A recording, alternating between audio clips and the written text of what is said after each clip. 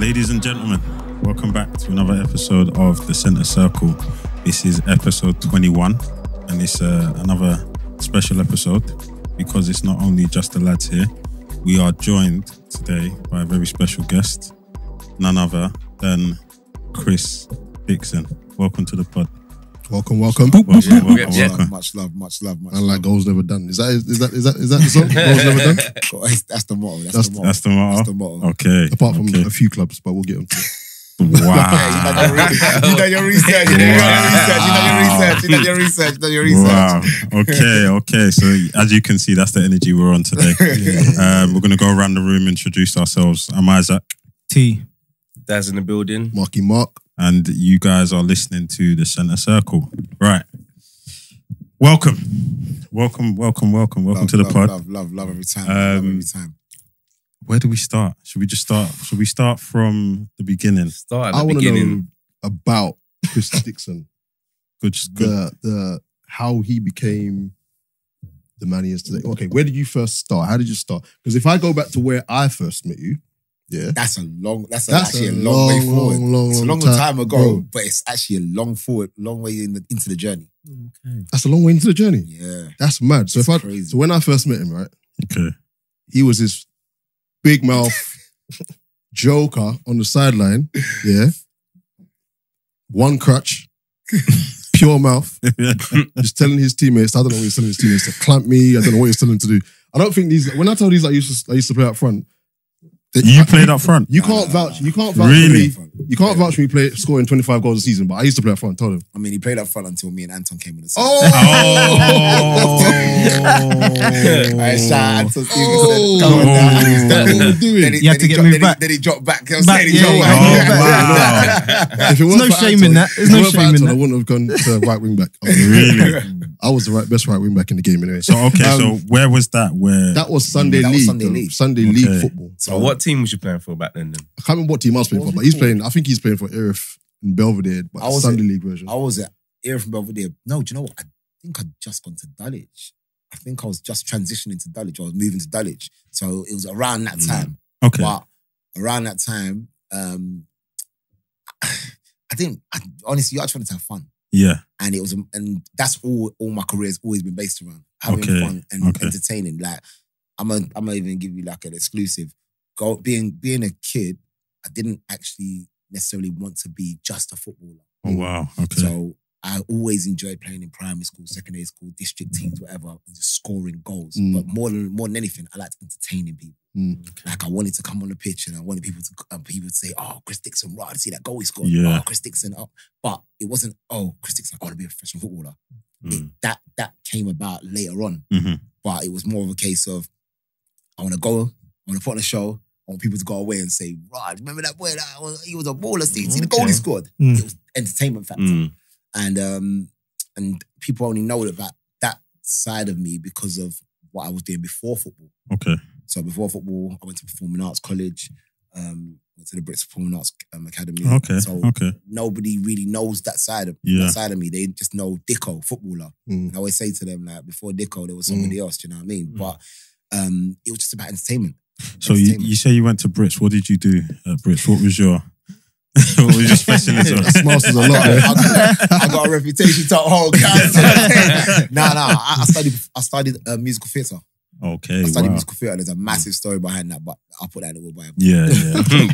But yeah, no, I studied musical theatre um, in Brit. And again, entertainment. And in Brit, even in Brit, people saw me playing football at lunchtime and whatnot. Yeah. And they were like, wow, like, you can kick ball. And I was just like, I like scoring goals, like having fun. But it, again, it was more entertainment, obviously. Again, there's people on the sidelines, Mm, people walking mm. past, whatever. I can get under and that. cheers. Mhm. Yeah. Mhm. Thinking raw, like, oh, he can kick ball. Okay, he's got more strings to his bow. And that was it. It was just about entertaining and having fun. And that's more than anything. That's what got me to where I probably wanted to get to. But at the same time, it could have been a reason as to why I didn't get further than where I got Okay. to. Interesting. Okay. So you say you started at Erith and Belvedere. Yeah. And then you moved to Dulwich Hamlet. So from Erith and Belvedere, I moved to Dulwich. Um, I was at Erith and Belvedere for the youth system and whatnot. Okay. Um, and then there was a little ism at Erith and Belvedere. Um, and I needed to get out, to Okay. be honest with you. Um, luckily, there was somebody in the Erith and Belvedere camp who knew the Dulwich manager. Okay. Um, big up Jim Dean. Um, and then um, so Jim spoke to Wayne Burnett. I managed to get on loan to Dulwich, and Dulwich was in the league above, Yeah. Or a couple leagues above. I'm not sure at the time, but um, I went to Dulwich on loan, played six games, scored six goals. At the end of the season, um, then I got approached by an agent. Agent comes along, says, uh, "Look, I can get you pro, etc." I'm like, ah, "Okay, cool." Me, I'm none the wiser to any of this. I'm saying I don't know anything about no pro, anything about no agency. I just want to play football, and you're telling me I can make more money out of this. All right, cool. Let's see. Um, sent me to a couple clubs. I went Barnet. I remember going to Barnet on trial. Um, there was 40 man at the trial. Really? Bro, I was hearing all kinds of languages. a French man, there was a Czechoslovakian, there this one man, there was, there bare different languages. I'm like, what's going on here? And only one man from that trial got picked out, Jason Puncheon. Oh Wow. Yeah. Wow. Wow. And that's where Puncheon's career kicked Yeah, off. yeah. Oh. Barnet. There's a madness from there. But um, then I had Wayne on the phone to me saying, look, come back, come back, come back. And I was like, oh, this agent saying I can go here, this agent saying I can go there. And Wayne saying, Dicko, just come back. I will get you to where you need to get to. And fair news to the man. And got me Mm. to where I needed to get to. And literally, it was a case of I went back to Dulwich and again, entertainment factor, Yeah. having fun, scoring goals. And that was it. And to the point where Wayne's on the sideline saying, Mm. Dicko, put on a show for me. I want to see what you're going to do for me today. And I'm, I'm thinking, what? What's, what's this guy? Like, literally just gave me free reign to kind of like, Mhm. express Yeah. myself. And yeah, I did an absolute madness. Like, I scored 31 goals before Yeah. Christmas. Yeah. Before New Year. So, Yeah. His stats Mad. at Were Dulwich. crazy. Mad. I don't think you understand, right? As a as a as a kid growing up, trying Bro. to navigate the, the football scene, hearing about what you did bro. was it was everywhere. It was mad. going to pits, you'd hear about it. Yeah. Just go, just kicking Bro. ball anywhere, you'd hear He was the about talk of the town, bro. No, seriously, He was literally the talk of the town, bro. What was, what was even stranger around that time is I was working in an engineering firm in King's Cross, and I had a manager who was sitting across me, um, well, two of them, and one of them used to pick up the local, local paper all the time. Okay, yeah. So every week he's coming in on Monday saying, Scored again, did you? Give me the paper again. the press again. Oh, scored again, did you? And I'm like, I'm like, yeah, yeah, yeah. Yeah. Another, there was another woman there, and she was like, "Oh," and she's not into football now. So I'm saying, but she she was clearly the hater of the pack. So, Yeah. so she was on some, "Oh yeah, he scored again," but whatever. So I'm saying, like, he'll be here next year. And I remember going back to my mom and said to my mum, "Listen to what this woman said to me." Innit? My mum said, "What's her name?" She told me. So I was a pastor in it. Oh, Just bring me her name. Bring me her name. Bearing in mind, my mom's I know Jamaican. is innit? going. When, when my mom's Jamaican, but Yeah. you, when you meet my mom, uh, you think she's you think she's African Yeah. Yeah. the influence is strong. so she's like, bring me her name. So I said name. And she said, okay, watch this, see this name. She'll see something. She will see She'll today. something. She'll see something. I was like, I was like wow, because she was just like on it. And then literally within a year, well, less than a year, I was gone. And literally it was just like, it was crazy. Like I remember, I remember just hearing from Wayne every game he say, you never know who's watching. You never know who's watching. Wow. Never know who's watching. I'm thinking, who's watching? I don't know So, who's so watching. to, to that point, did that add any pressure when he made statements like that? Did it add pressure, or did it kind of fuel you to perf- pressure.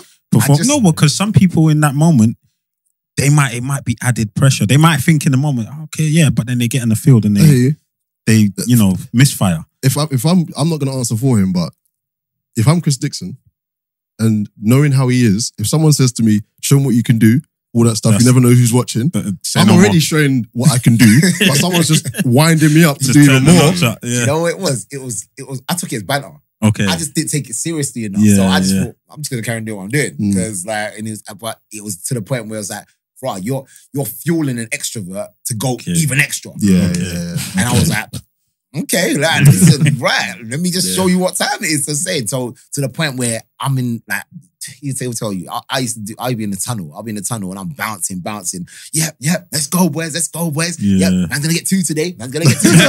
yeah, yeah. And, I'm, And he did as well. Oh my and the God. thing is, to the Wow. point where there was opposition teams like getting angry, like, what's, who's this guy? That's what I'm saying. But Mm. what I didn't realize and what I learned further on now being a coach is psychologically that's me one up on you. Yeah. Got you. But obviously at the time, I was just hype. Yeah. I was just like, nah, like, I'm gonna score today. I don't care. I'm having fun. Let's go, let's go. But like I said, I, now I'm a coach. Now I'm coaching, and I'm and I'm looking back at things, and I've studied psychology as well. So I'm thinking, Mhm. ah, do you know what? That was actually the mindset, Mm. and that was me being one up on them, and them not even realizing it. But to me, it was just natural. Yeah. That's your You won't even try. That's almost like your version of the Roy Keane in the tunnel. Man is scared because he's got that steely yeah, look. Yeah. yeah. Do you know what I mean? Yeah. And before they've even stepped out onto the pitch, the battle's already half lost, Yeah. right? Mm. Because and, I've, and, and as I say to the kids that I coach now, I say, look, um, eighty percent of football is here. Mm. Eighty percent doesn't matter whether it's eighty percent of what you're going to think about doing next, or eighty percent what you're thinking before the game or during the game. Eighty percent of football is here. Ten percent is your talent, your feet, what you're going to do with it. If this doesn't work, that ten percent don't work. yeah, Mm. massive. And ten yeah. percent is who you know. So from you have you have this breakout season, and and like like we've we've already said, it was the talk of Southeast London, and uh, a protein comes in, or I'm, I'm assuming there was a few, but there's a certain one that came in that you kind of did, decided to go towards. Who was that? So the story goes that I was on a coach um, coming back from a game against Godalming, Godalming Town. I remember that. Yeah, I remember. and um, I, I, I'd had a stinker. Oh wow! one of the only games I didn't score in. Uh, and, and the gaffer pulls me to the front of the coach and says, Yo, um, Dicko, we got an offer for you. I'm like, Okay. It's like, Hastings United want to sign you. I said, Okay, great. Like, they're in the same league as us. Like, Mhm. Yeah, we're going to accept it. I said, I'm sorry. What are you dealing what? with? We're flying the top of the league. Yeah, We're gonna accept what? yeah. I ain't going no Hastings You know I'm so he's like, yeah, we're gonna accept it. And I'm like, nah, Gaffer. Like he's proper got serious face as well. Goes, no, we're gonna accept it. I'm like, Gaffer, I'm not leaving. I don't care. He goes, no, we need the club needs the money. Where I'm like, Mm. I'm not going. I'm having too much fun here. I'm looking to hit 50 end of the season. I'm saying I ain't going. He goes, oh, okay, I'm joking, I'm joking. But um, the club has come in for you. That's Athletic. dope. I That went- was dope. That's a dope way to drop it. I Still. went, huh? now you're definitely joking, anyway. Yeah, He's like, yeah. no, you're going to Charlton on Monday. That's These dope. times- Wow, That's dope. That's I've had another agent contact me and tell me that he's got Southend coming for me on Monday. So I'm Okay. like, so I've, the first thing I've done is gone on the phone to the other agent and said, "Yo, like the gaffer just pulled me. Charlton have come in for me." He's like, "No, no, I got Southend for you though." Monday, I said, "Are you not listening? Charlton in the Premier League have come in for me." You didn't believe him. I, I didn't believe who. You didn't believe the gaffer. I didn't believe the gaffer. I didn't believe him. I was like, they're in the Prem. Like they got big boy players there. Like Mhm. there's big names at Charlton. Like I'm saying, well, well, Alex Song, Kevin Lisbie, Darren Bent. Man, yeah. What, Me? with me? Like, saying? Jimmy Floyd Hasselbaink. Like, what the hell do you want with me? Yeah. Um, and then yeah, that so that week, like I remember that's probably the only time I could probably say that I was actually a bit nervous. Mm. Mm. Um, because I was like, I'm going into an environment that's new to me, Mhm. which wasn't the nervous pa- nervous for. It's an environment that's new to me that I know the people that I'm going into environment Yeah. with. When you say got to be- sorry, sorry to when you Go say new, just to, just on that point there, what do you mean new? Because you're already in a footballing setting. So I'm going into a professional football in- Mm, setting. Yeah, yeah. I'm going into a Premier League setting, and Yeah. I'm going into a setting with players that I've only seen on television. Mm. like celebrities to you, basically. Got you. Yeah. Got you. How, that- old was you at that that point? When, when- So I was 22. okay. So I was 22. I literally, um, yeah, just turned 22. And I remember just going, thinking to myself, tomorrow I'm going to be sitting next to Jimmy Fred Hasselbaink. That's Mm. mad. Mm. And, uh, That's mad. and um, I remember, uh, And not just work experience. No, I'm, I, am on par with these man. I'm coming here to sit down with them, on par with them. yeah. yeah. I'm not just bringing man It's- water. You it's know what I mean? mad. Proper. Um, and then I also remember, also remember just calling my work and saying, I'm not coming. I'm not coming. Hey, hey, listen to I me. won the lottery. That's a good conversation. that's a great conversation. Have Have you seen that meme that's I'm going not, around the yeah, Twitter? I'm not calling. I'm going in. Yeah. I need to say it face How to would you face. sit on the chair to tell them I'm done? Yeah. they think it's banner. Yeah. Like, they think it- yeah, whatever. So I'm saying, but I, I also remember thinking to myself, no, that, that was a week later. But just calling my manager and saying, Mm. look, look, I'm not coming in. Um, I've been offered a trial at Charlton. Because obviously they'd spoken about me so much in the newspapers and Mm. whatnot, they knew something might possibly happen, but no one really actually thinks this, that's going to happen of that magnitude as well. Please tell me it was the woman you, you had to. We'll get to her. Oh. That's We the week- get to that's, her. That's the week. That's the week later. We're gonna get to her. We're gonna get to her the week later. So um, yeah. So that week I was on trial. Um, we had a game on the Tuesday, um, and I hadn't. I'd met a few play people like on the Monday. We had a reserve game on a Tuesday against Fulham. Mm. Um, it couldn't have gone any better, if I'm honest. The only way it could have gone better is I scored a hat trick. Yeah. But it couldn't have gone any better. Literally. And I always say a salute to Kevin Lisbie because he made my job so easy. He allowed Mm. me to He's a- still he was a play, player. Mm. still Big play how I a wanted to play, player. knowing that the way I played that game is how he usually plays his game. Mm. Okay. Okay. He he reverted to just coming, being a hold up man, coming short, Mm. and just said, "Look, you just run, just keep going." And it's funny because now I play in, in like vets games, and it's the same thing. Yeah. Think, oh, I'm coming short, you just Yeah. run. So and literally, I just I was able to express myself, play the game I, I normally play, Yeah. and I remember just Wayne coming up to me after the game, my- Wayne Burnett, my manager Mm. at Dulwich, and saying, "You never made that many runs for me." there you go. And I was like, I was like, like, I've never seen so many runs. I was, Yeah. like, I was like, I was like, Gaffer, you know, like I'm in the big time now. innit? You know what I mean? I gotta show myself. But again, going back to the same entertainment factor, I'm Get now in a, an environment where I'm overawed, I'm overwhelmed, Mm. but I've got to present myself in a way where like I want, I want, to, I want you to, to remember me. Mm. Yeah. So it was entertainment again, but it was for me. It was it, for me. I didn't see the business side of it. Mhm. I wasn't watching that. I was just like, listen, I'm, let's get another game. Mm. I'm gonna put on a show. Yeah. I want to score some goals and see what It's just another it. stage for you to just Another stage, to that's it. Shut your stuff. So then, literally, um, after the game, I scored two, I Mhm. made one for Miles Weston, and then Mm. um, um, Alan Pardew pulls me out of the changing room, and the man gave me the most aggressive handshake I've ever had in my life. Went, bang! I was like, I was like, okay. You're That's good. That's what I wanted to see. That's what I wanted to see. I was like, I'll see you, I'll see you on Thursday. I'm like, okay, see you on Thursday. Cool, cool, cool. That's a good sign. That's a good sign. That's a good sign. But again, I don't know what's coming in it. Yeah. So then um, Thursday comes, go in on Thursday. Um, the agent, my new agent now comes in with me, Safe Ruby. Um, and he's obviously been with me the whole journey. But Safe comes in and and Safe is, uh, if you know Safe, Safe, Safe always looking to punch high. He's looking to punch high. Listen, we ain't coming in here for no one year Mm. contract. Mm. So I'm like, Charlton off me one year first. And Safe's like, cool. He told me directly, he said, I've gone in there, they offered you one year. I've told them directly, if this guy smashes it up in the first year, I'm taking him somewhere else. So they're like, okay. Is he calling that bluff or is this guy really, is this guy really the hot ticket that he's making out to be? Yeah. Next thing I know, I don't know what else he said in that shit in that in that in that room. They come running out of a two year deal. Like this, waving the paper, waving the paper, and I'm like, and I'm like, what's that say? He's like, It's two, it's two years. Oh. It's like, it's two years. Okay. Friday came. Um, I signed my deal on, on that Friday. Um, I believe I went in that Friday as well. Okay. This is the week later. Mm. Yeah. Now, if I'm honest, yeah, I wasn't smug, and I should have been. I should have been a lot more smug.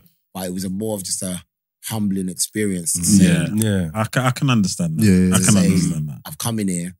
Um, you told everybody or everyone around that I was going to be here in a, in a year's time, and less than a year, I'm out of this. I'm saying and you're going to be here in a year's time. Oh. That's what I'm saying, but it was. It, I, I didn't. I didn't. Mic I Yeah. Drop the mic and walk away. but that wasn't. That wasn't actually what I'd said. I went to Yeah, the manager. yeah, I went to the, the senior manager. Okay. And, and a lot of and a lot of people at Grat Brothers were um, Arsenal fans as well. So they were Mm. like, "Oh, make sure you don't score against Arsenal." Yeah, yeah, yeah. I'm thinking Charlton are in a relegation battle right now. Till we ain't going to worry about Arsenal. but it was a case of uh, they were just like proud, happy, like Yeah. overwhelmed. They said, "Look, Mm. listen, if you need any help or anything."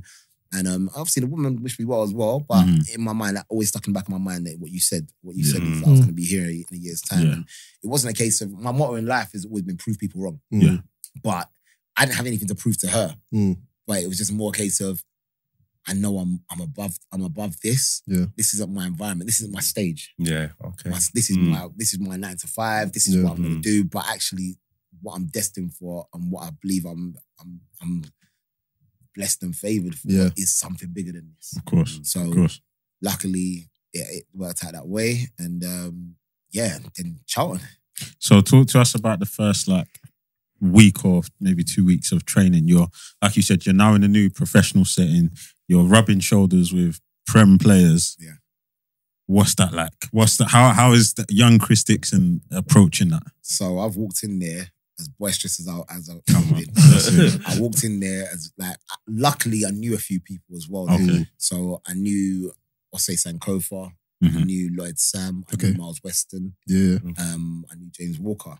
So I was I was they they just bedded me in Nathan Ashton as well as well. Mm. So I knew them from the Resi game, but I knew Miles from like school days. Mhm. So it was easy to kind of come in there, but at the same time, I wasn't trying to be overawed by nobody. Like Jimmy stuck it on me a few times. That's why Okay. I don't play games. Like he, he made me made me know what time it was. I was like, Brig man, I'm in the first team with you, bro. Like I'm not trying to be washing no one's boots on. I'm not I'm not a YT in it. Yeah. I'm in I'm in here with you. Is that what he's trying to get you to do?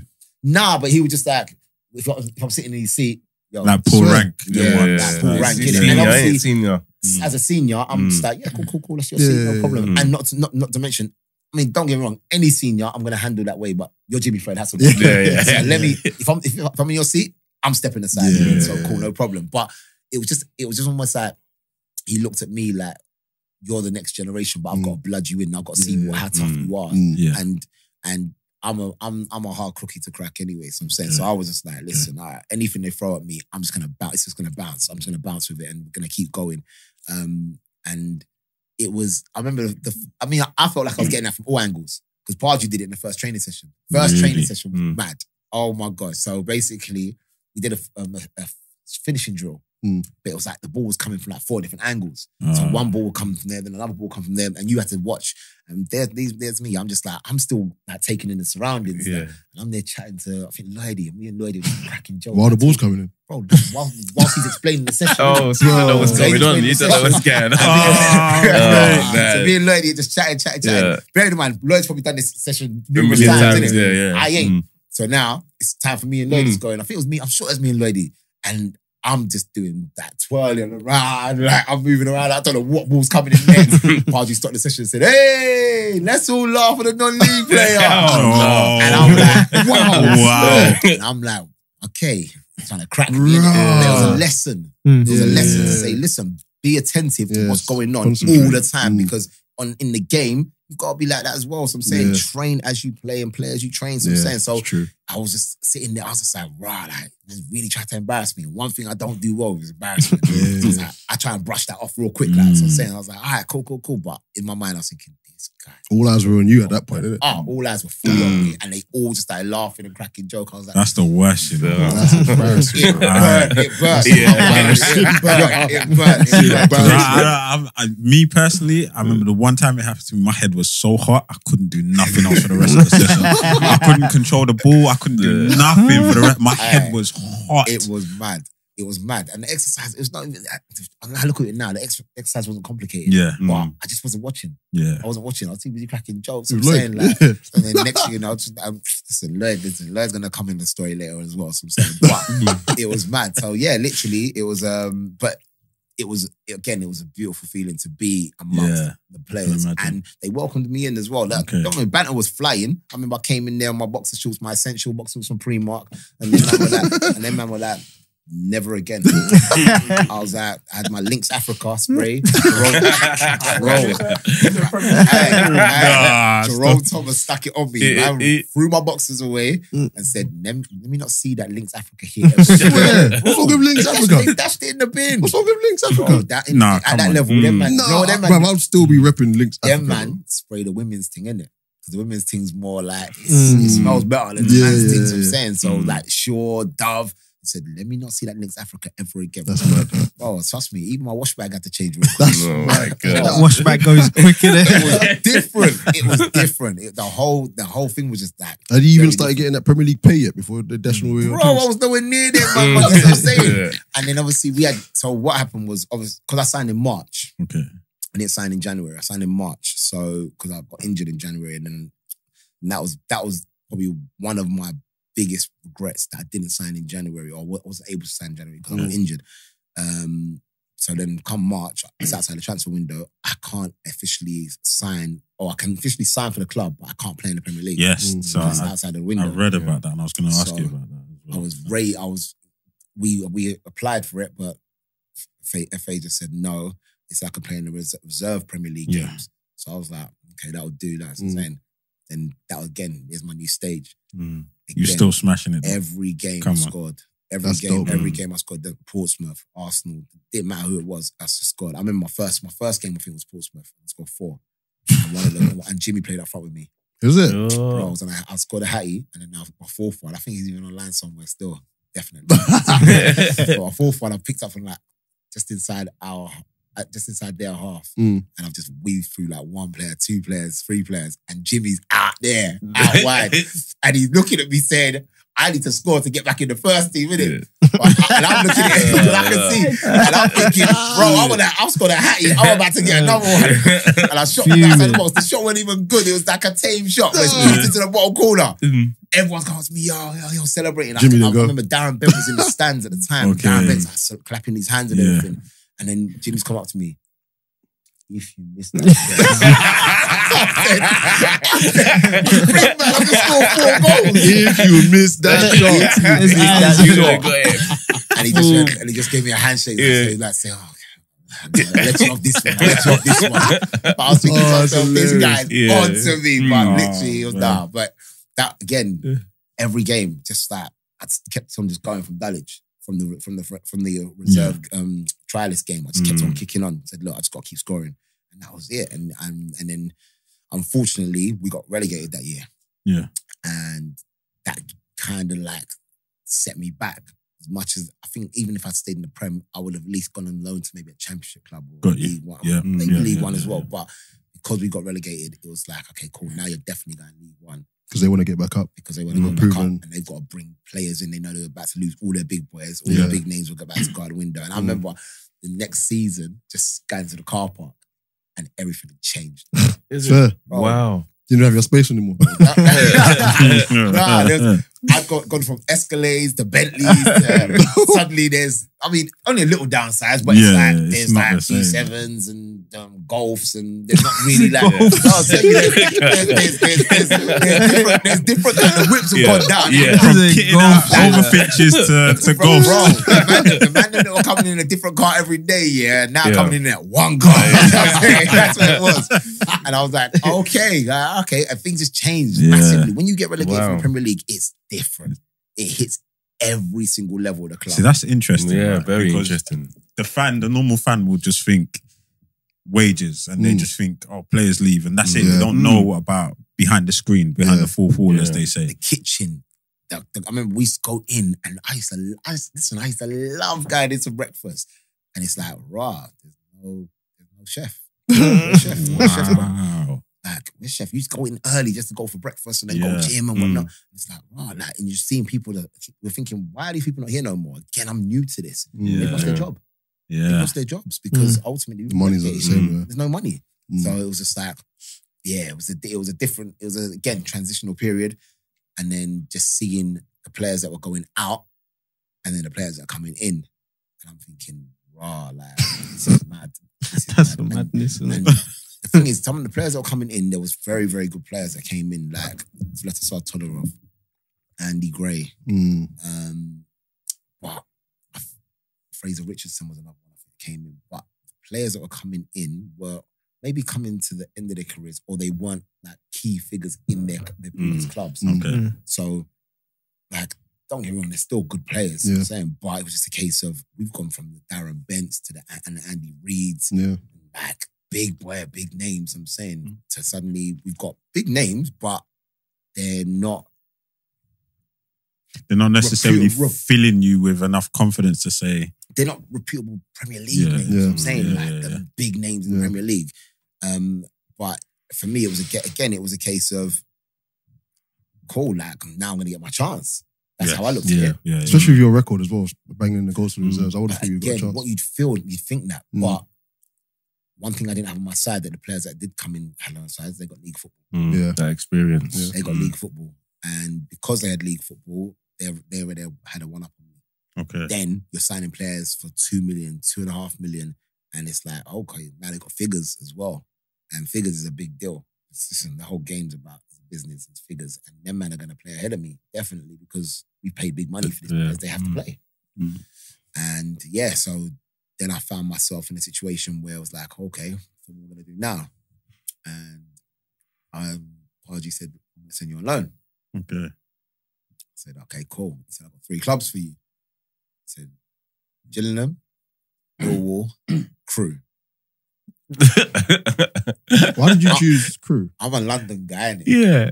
I've seen everything in South London. I ain't that's seen you- nothing outside of London. So I'm saying, so I was like, let's go and see what Crewe's about. Wow, that's a jump. Um, Did- So you didn't have to choose between like who's offering the most money, wages, anything. Just, Charlton were going to handle all of that. It was Okay. a case of we just need you to go out and go and play football because Mm. you're not going to play here. Okay. Because the players Okay. were in. yeah, yeah. So I was like, cool, let's go Crewe. Let's see what Crewe's about. I didn't know what Crewe was. All I knew Crewe was Alexandra. Bar. Yeah. Bar. Yeah. is- all I knew- bar. all I knew bar. was- It's bar. I know that's bar. I didn't know what Crewe was. I didn't know nothing about the Crewe. I just knew that it was up north and I heard it's near Manchester. So I was like, all right, cool. Yeah. Wasn't um, Dario Dario Gradi? Dario Gradi was like the sporting director or something Okay, like that. But okay. the manager was Steve Holland, who's now yeah. the England assistant. Yeah, Yeah, okay. yeah, yeah, Gareth, yeah. So, um, Southgate's. Right. he um he was uh yeah so i went up there and truth be told i went for uh, it was a jolly up But when when did you go up there? Did you go up there at the beginning of the season? Because you didn't really play much games from, did you? i went there at the beginning of the season yeah i went Yeah. at the beginning of the season so literally it was near the beginning of the season and yeah, it was it was I just wanted a different experience. I'd seen London. I, I, I knew about Millwall. I knew about Gillingham. I didn't really know about Crewe. Okay. Let's see what this is Mm. all about. And um, just going up there, very different. So bearing in mind, I've played, I've, I've been training with Premier League players. Yeah. I'm now in the Championship, but I'm still playing with Premier League players. Yeah. And I go to Crewe. Cars must have been a hella different now, but cars were cars are very different. Cars are very different. Cars are very different. Say golfs were the top thing.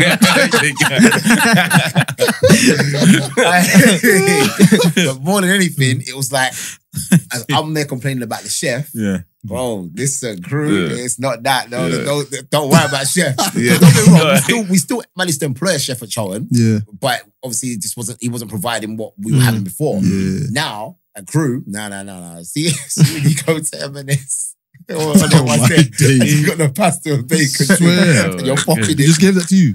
Oh, that's what it was, you getting served that and some bread, bread roll and that. I'm saying, Oh, no. it was different. Mhm. It was very different. And where we were, tra- even when we were training, I was like, what kind of surroundings is this? Because this is feeling like a train, like, like a park. Oh, I was like, this is mad. and Oh, don't no disrespect to Cruz. I'm saying, Mm. like, like, listen, they do their thing, whatever their football Yeah. club, and they have to do their thing. Yeah. But it was just for me, it was just where I'd come from. Yeah, Mm. I'd come from the big time, innit? Like Yeah, yeah, rubbing yeah, shoulders with yeah. some big boy players. And now, like, I'm here. The players at Crewe are very good, but it's just like the surroundings was like, whoa. Mm. And it was like, almost felt like, you know what, you're back at a non-league kind of Mm, environment. So okay. I'm saying you're back on the graft.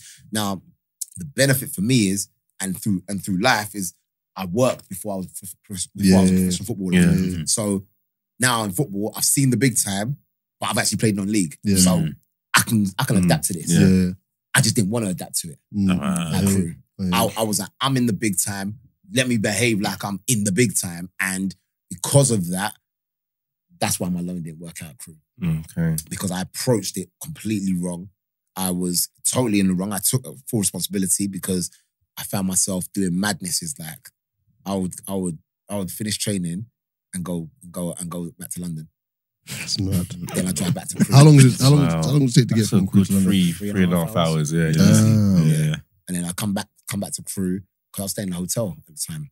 And then after the game on, a- on a Saturday, I'm in Manchester or I'm in Leeds or I'm in Liverpool. Yeah. I'm Enjoying somewhere. life. You may it up. I'm out. Yeah. outside. Outside. Yeah. As these kids say. As the kids say, I'm outside. But yeah, I was, I was, I was outside, and and I and I didn't take it. I took it for granted. Mm. I took it for granted. Mm. Um, so when I came, I got, I got let, um, let go. I was on a month loan. I got let go after three weeks. Really? Wow. They in- Was that quick? You must have been That's really outside. I'm serious. In three weeks. was I think I, I could have done a month. I would have got away with it. I'm not that bad. Like, yeah. it was mad. I didn't score any goals. Um, You only played three I games, didn't even look. I was gonna score. You didn't look like you was gonna score. Didn't look. I was gonna Do you score. think they knew what, what you was doing? You think they actually was keeping tabs on you and actually As in Charlton or Crewe. either, either, either or? Crewe didn't know anything. Crewe wouldn't have known anything, but Char- Crewe just thought, "Who's this dud that Charlton has signed that Yeah. was sent, Yeah. sent to us?" Yeah. Charlton are thinking, "What's going on?" Because this guy's done a madness, Mm. and now what's going on? And I came back to Charlton and I got dashed back to Charlton. Oh, so it was it Q Crewe's decision to end the loan? Yeah. Or- oh, okay. Hundred percent, hundred percent. They just said they, they they brought in Lee Barnard. He Mm. scored in his debut, and that was it. I knew that was That's that. enough. That's The right- yeah, he's the done. right was on the wall. The right was on the wall. I saw him bend it bottom. I said, "Yep, I'm out." what, what I was thinking, where am I going at tonight? You know what I'm saying? 'Cause where- Evidently, I ain't gonna be. I ain't gonna be here. Yeah. Um, and then yeah, um, came back, and then that was the sternest. In, um, yeah, I say interview, sternest conversation I had. Was that with Pardew? Pardew. Swear. Mm. He gave it to me. He said, "I don't know what you've been doing out there, but you have not represented yourself or the club how we know you can." Damn. And I gave you the option to go to one of these three clubs. The next choice isn't going to be your choice. He said to me, I could send you to Millwall, but if you do what you did at Crewe at Millwall, they're not so nice. Yeah. Yeah, pff, uh, you knew that They'll before, let, you, they'll let you know. He was basically Yeah. telling me, listen, you're a black boy and you'll get you'll get taken out down there. You you did at Wow, that's And that was- wow. and it was real. Yeah. Taken out. It was real because it was just like, you know what? I can't, I'm not gonna send you to um, throw you to the wolves. So you're going Gillingham. So now I'm like, cool. I've been given my little slap on the wrist. Mm. I've been I've been told go and do go and show us what you Mm. can really do. And that's when I just activated. And Gillingham I was good for you, man. Very good. Didn't start good though. Didn't. Didn't start good. So what was interesting is that I had uh, they, Gillingham had an interim manager at the time, Okay. Iffy Onuora. And how can I explain Ify The whole back. Ring- that name rings a bell, man. Yeah. It does. If Um, he's- didn't he um, Mm. play He's a for? legend. yeah, he's Gills. a plays, yeah. Who did he Legend play for Gills. again? he Yeah, played yeah, for yeah. Gills. He played. He played for a few clubs, but he's actually on the FA now as well. So, but he's I'm sure he's from Scotland. So I know he's got some mad accent, Scotland, Mm. like a northern accent. Mm. But if he didn't like me much, I don't feel if he liked me because I came into Gills again. I'm I'm always gonna be bouncy, positive. So I'm saying, Yeah. but Mm. I came in from Gills with that aura of I'm coming from Charlton. And as far as everyone's aware, Charlton's still a Premier League club, Mm. even though they've been relegated Yeah. Championship. So who's this kid that's coming in thinking who hasn't played any league games or played three league games down Mm. at Crewe and he ain't done nothing? Like, who's this kid? So he didn't play me for the first three games. So I travelled with him. I remember we got smoked at night in Nottingham Forest 5 1, tried to throw me in there, got smoked somewhere else. And then we were getting, they were getting peppered every week. Mm. Gills were getting, we were just getting torn apart. And then he um had, we had a Johnstone's Paint Trophy game. And he had no choice but to. He said, I'm going to give all the boys that haven't had a run out, Mm. give them a run out. Mm. We're playing Luton Town. Mm. Imagine Luton Town. Yeah, I'm crazy. So- That's mad. Um, and said, "Go, I'm gonna play you." Even my man changed like the formation and everything. It's like he was just like trying to throw us, throw us into, the, into the wilderness. Say, just make up your own thing in it. but that game was got a hat trick.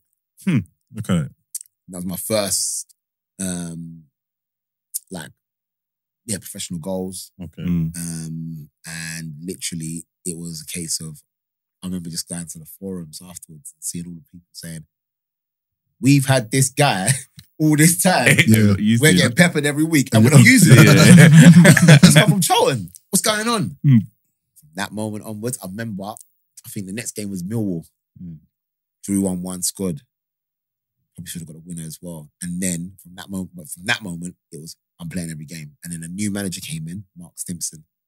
And literally, just every game, Dicko, you're playing, you're playing, you're playing, you're playing. There wasn't a game I didn't play. And I remember I got 11 in 14 or something like that. And then and that was like three months.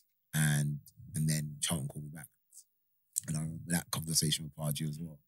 A better Mm. conversation, sir. What? Different. man. different. Very man. Different. I ain't gonna lie, I thought I was gonna get a new deal. And I was like, yeah, okay, yeah, like, another year. Yeah. But now he was just like, yeah, that's the Dicko I know. So I'm saying, and um, and then he started infiltrating me into the first team picture a bit more, and then the injury, Ah, and Yeah. that was the stumbling block, the massive stumbling block. Charlton. So I, I I remember coming to well going to watch Charlton, and you you got brought on. I can't remember who it was against. And I was gonna, I was gonna say, was that I was, I was gonna ask was that before, but if I can't remember the timelines, it's, it's kind of pointless. But after that injury, what happened? Like, what was the, what was your, what was your place? Like, what was your status within the team? Like, did you come back in and work your way in, or was it from there you just? so prior to that injury, I got I got put in in the FA Cup game, and I scored against West Brom. Mhm. And then went to penalties. I went extra time. I tore West Brom apart. And went to penalties. I scored my penalty. A couple of them man missed, and then went out. And then um, I remember, Pardew, there was whispers going around that I was gonna start. We were playing Stoke. And there was whispers going around that I was gonna get start. And I walked into a hotel where we were staying. As I walked into the hotel room, or hotel hotel reception, we used to just like banter each other and everything, and try and put our tracksuits down each other's back and trainers and do stupidness. Lloyd Sam oh my Mm. days. comes up behind me. He's trying to put my tracksuit in the back of my back of my trainer. I turn around. I, I bagged him in. I said, "What are you doing?" And as I've turned, Oh, pop. jeez. That's where my knee went. So people think I got injured on the pitch or I got injured Mm. training. I, I got injured Damn. literally at the Radisson Blu Hotel in Canary Wharf. That's Oh, mad. Madness. mate. That's Madness. mad. And they say it's better that it happened there than it happened on the pitch. Yeah. But then, obviously, I'm on my way to to the hospital to have Mm. surgery, and I wake up in the morning. Charlton one, Stoke nil. Who scores? Lloyd. Sam. Wow. Oh. Oh, Wait, you must have felt hella guilty though. Mm. no, he, he, to be very because me and Lloyd are boys. It's mm. innit? banter, but he must have Yeah. felt some kind Yeah, of. there must have been. I think some he just sort of- didn't know how deep it was. Yeah. Like I'd Mm. done my conjugal defect, so it, my knee was gone. Like ah. literally, it was big. It was a big problem. I was out for five months. But and then so when I saw it, I was I was buzzing for him because I was like, yes. Yeah. But obviously, the fact that I then got pulled and so, was told that I was going to start that night, Yeah. it was just like Jesus. Mm. But saying that, it might have happened on the pitch. It Mm. might have, yeah. It may have Mm. happened on the pitch, and they said if it happened on the pitch, it'd probably been worse because my stud would have got caught in the grounds or something Oh. like that. Whereas me just walking and turning, it was probably better that it happened then. Had you had that injury before? Is that the injury you had when I first met you? Never. What what injury was that when I, when I first met you? Probably If you my remember. foot. Damn. It's probably my foot. It's probably like my broken metatarsal. Remember metatarsal was a big deal. Like Yeah, Beckham when, done it. uh, and Beck's done it so, and then yeah, Rooney that's, done it. That's probably what it was. Because I was in a, I was in a cast. Yeah, I was in a Yeah. boot cast. I was in a boot. Yeah, so it was just like one of them ones. I was in one of them boots, innit? But yeah, that's when I had that. But my knee, never, I never had any man. issues with my knees or anything. I mean, conjure, I mean, what did I have? I had Osgood laterus when we were younger or something. Osgood Schlatter, or what they call it. But I never really had no no problems and literally just walking and turning. But after the injury, yeah, so um rehab, rehab was rehab was was good. Rehab was very good. But again, I've never been injured to this magnitude. So it's like I'm not taking rehab that seriously. Yeah. I just don't think it's that big of a Mm. deal. As Mm. far as I'm concerned, I've hurt myself. Okay, I'll be back in a bit. When they're telling me "Oh, I've had an op, I need to I need to chill, I need to like heal properly.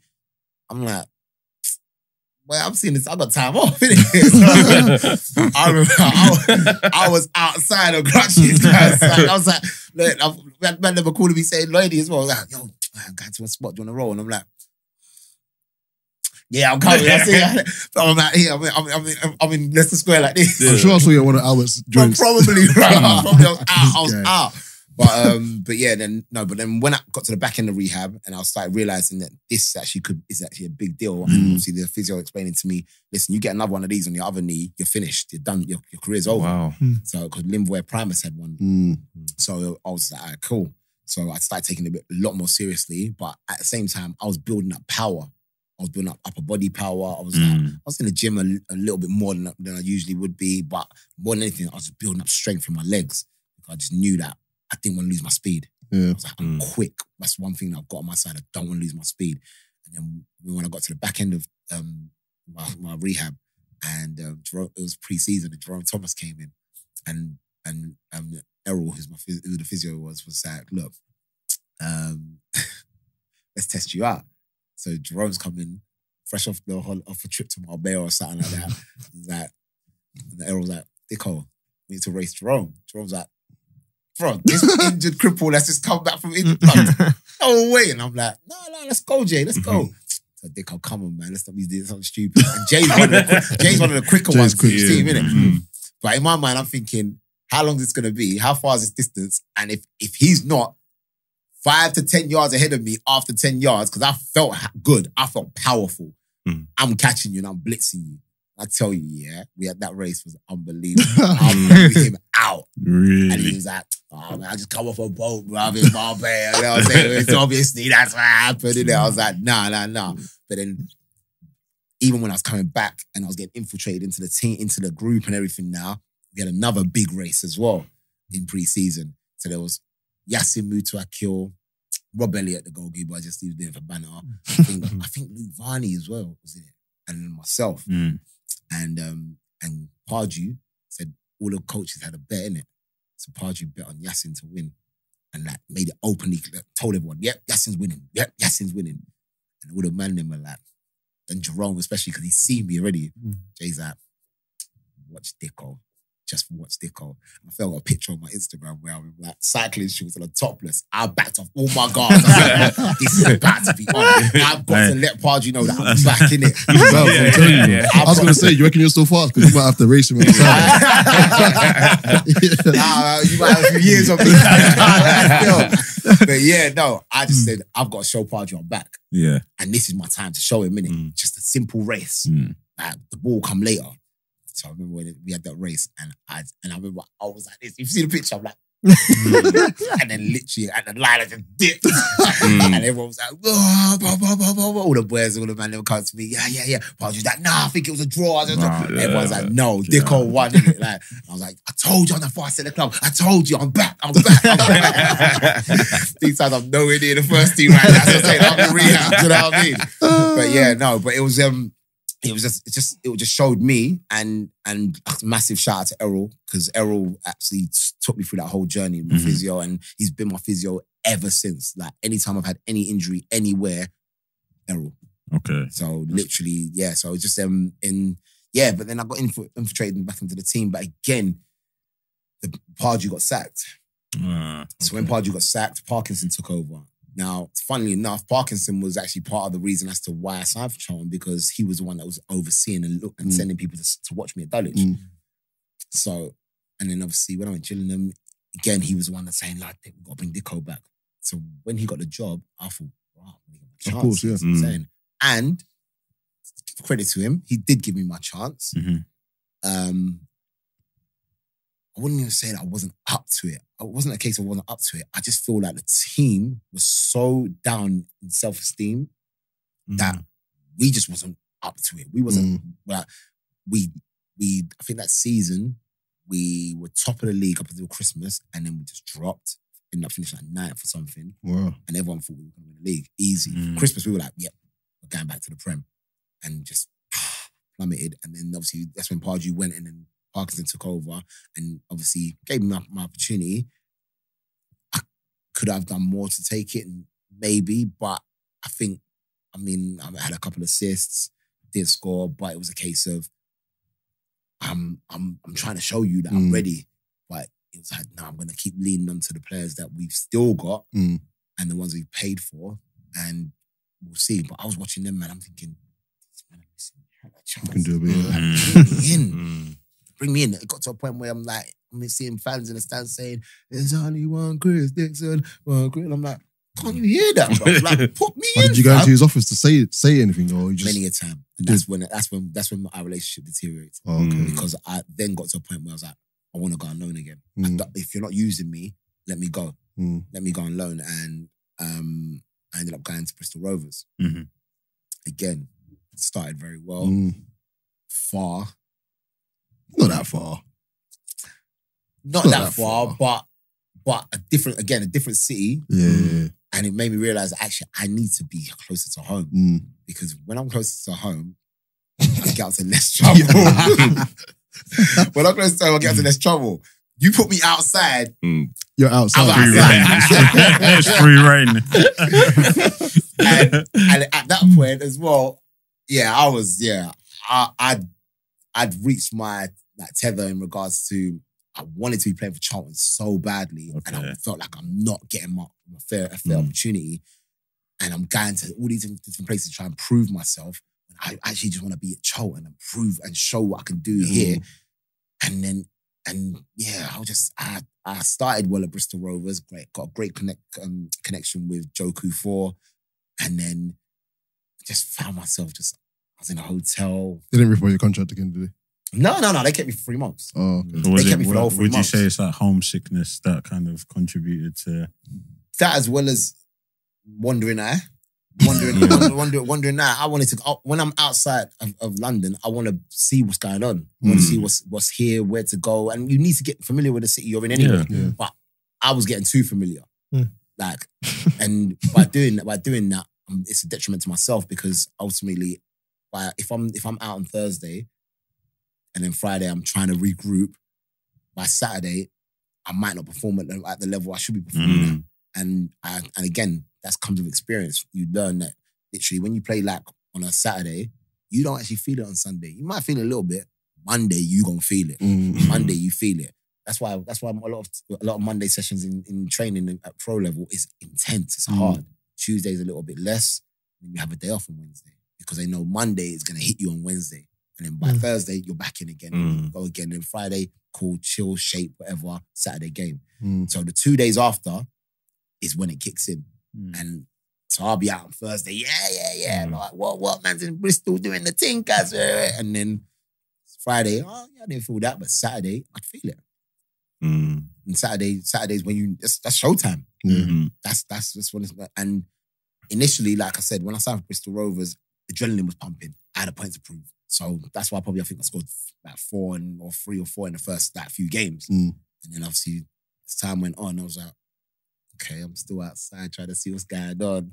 Um, and yeah, it took its toll. It took its toll. And again, I was probably my own worst enemy in that scenario. But the thing that was nagging me was the Charlton thing. Yeah. So is was it is this where your loans start happening, or was it a case of "Ah, I've gone to Bristol, I've come back, I've got back into the team, or you know what happened? Went to Gillingham again, innit?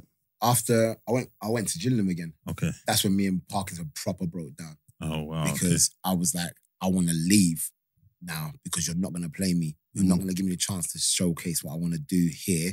So I want to actually leave. Yeah. And I was, I I handed in a transfer request.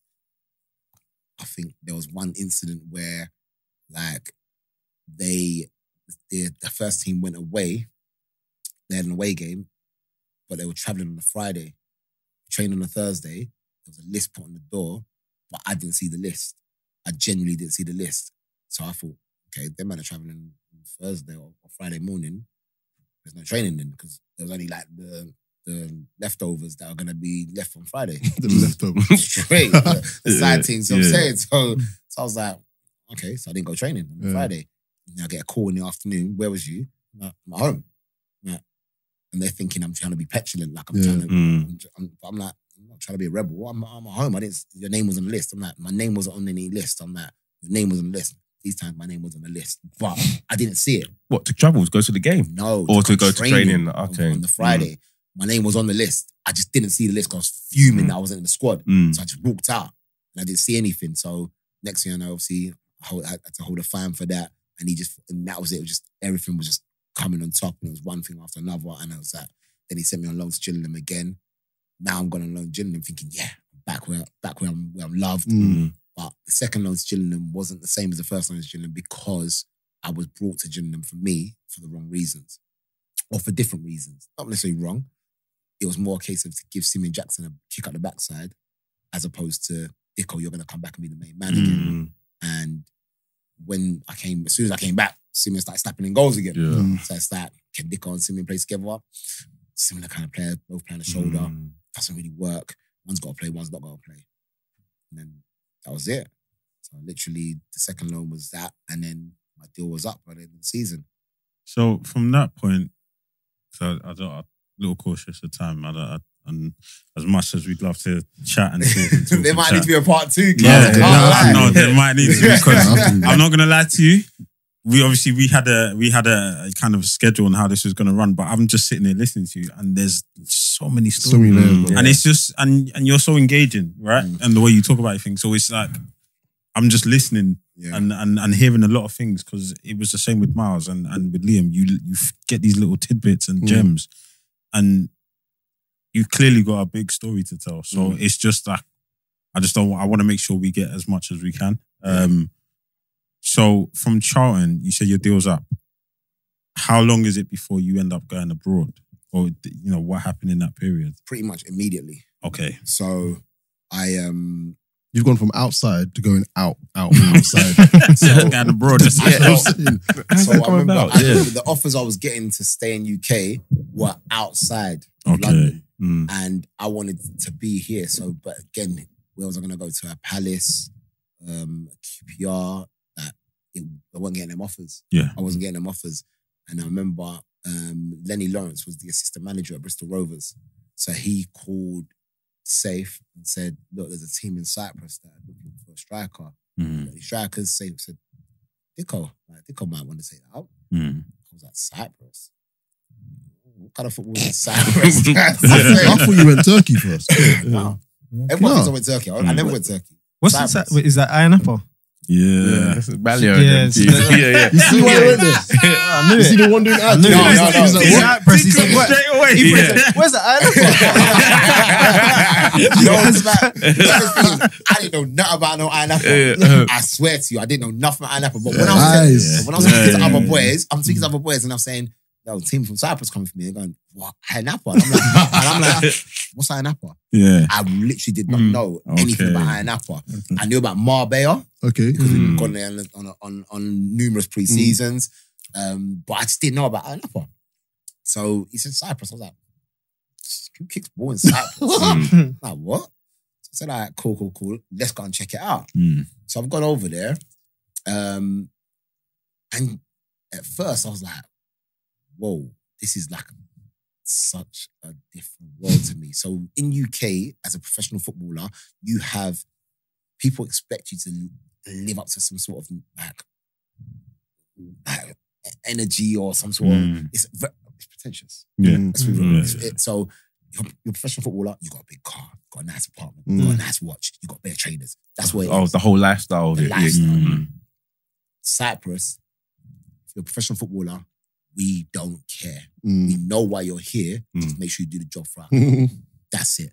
So Mm. I'm like, well, like, okay, cool. But I went out there thinking every every football club's the same. Mm. So when I pull up and I'm like, you know, I'm gonna need to bring my car from UK over to here, right? And the man's like, no, you're not doing that because you're not gonna undermine our, our club or our, our manager or Bro. anything. And I'm looking at the cars that are pulling up. No, Here this we is go. definitely Echo. hey, what's up with it? Opal. Opal.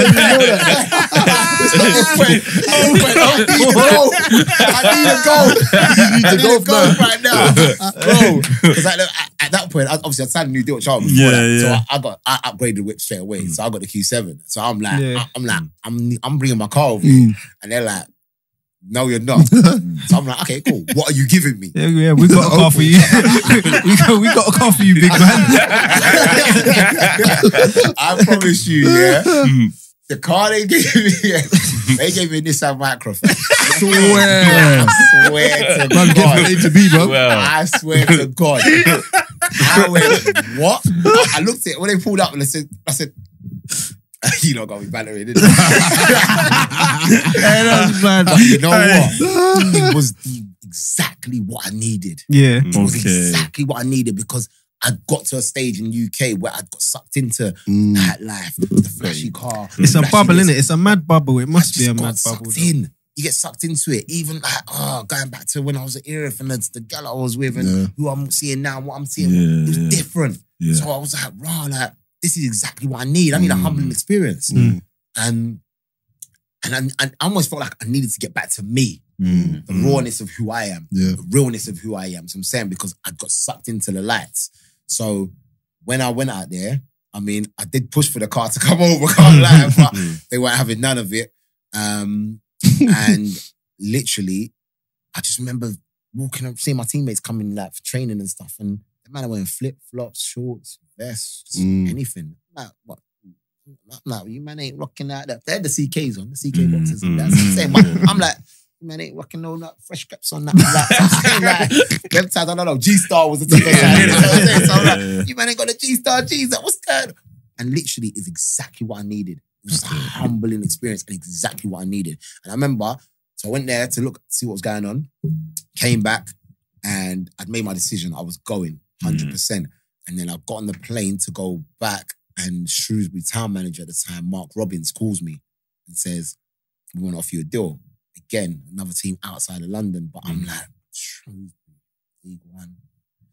I think League Two, I don't know where they were at the time. I was and I'm on the plane. I remember I was on the plane, literally. Wow. I said, Mm. I'm going out to Cyprus. I'm gonna see what's going on over here, and then if it's not work, doesn't work out, I'll give you a call back. He said, yeah, just give me a call back when you're coming back. These times I'm going out there to sign. I'm coming back. I'm packing my bags. I'm cutting out. Mm. So um, yeah, and literally that summer I went to Cyprus, and again, it took a lot of time to adapt. Mhm. Um, because in my mindset, again, it's about your mind. It's about what's going on. To get get used to this. The weather was different. It was unbelievable, Mm. but it was just like football was very different. The fans completely different. Like no undertone, undertone racism, Yeah. but you can accept it. Yeah. But you can have to check a man if he goes too far. Yeah. Like it was one of them ones where they got this work that. So we would man them man man them call everyone the M1, whatever I'm saying. They got a term called Mavro. Cool. It means black man. Mm. But we know what it really means. Mm, yeah. So I'm like, yo. Yeah. So they said, Mavro, Mavro, Mavro, Mavro, Mavro, hey, Mavro, Mavro. I'm like, bro, like, what's all this? What's all this? What is bear man just comfortable calling me this? I'm saying.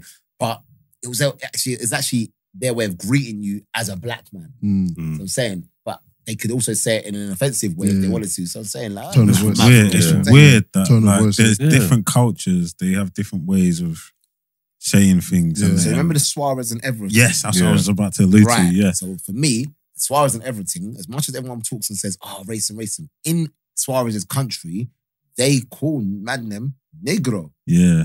As endearing. Like, that's my Mm. brother. That's Yeah. Negro. That's my brother. Liverpool I'm saying. fan, innit? Huh? Of Liverpool fan, is. Of innit? course, Yeah, yeah, yeah, Oh, here we go. Yeah, no, no, I He hear was it. wearing No, the- no, he was wearing I'm the sure- shirt as well. He's wearing it. There we go. The training top. There we go.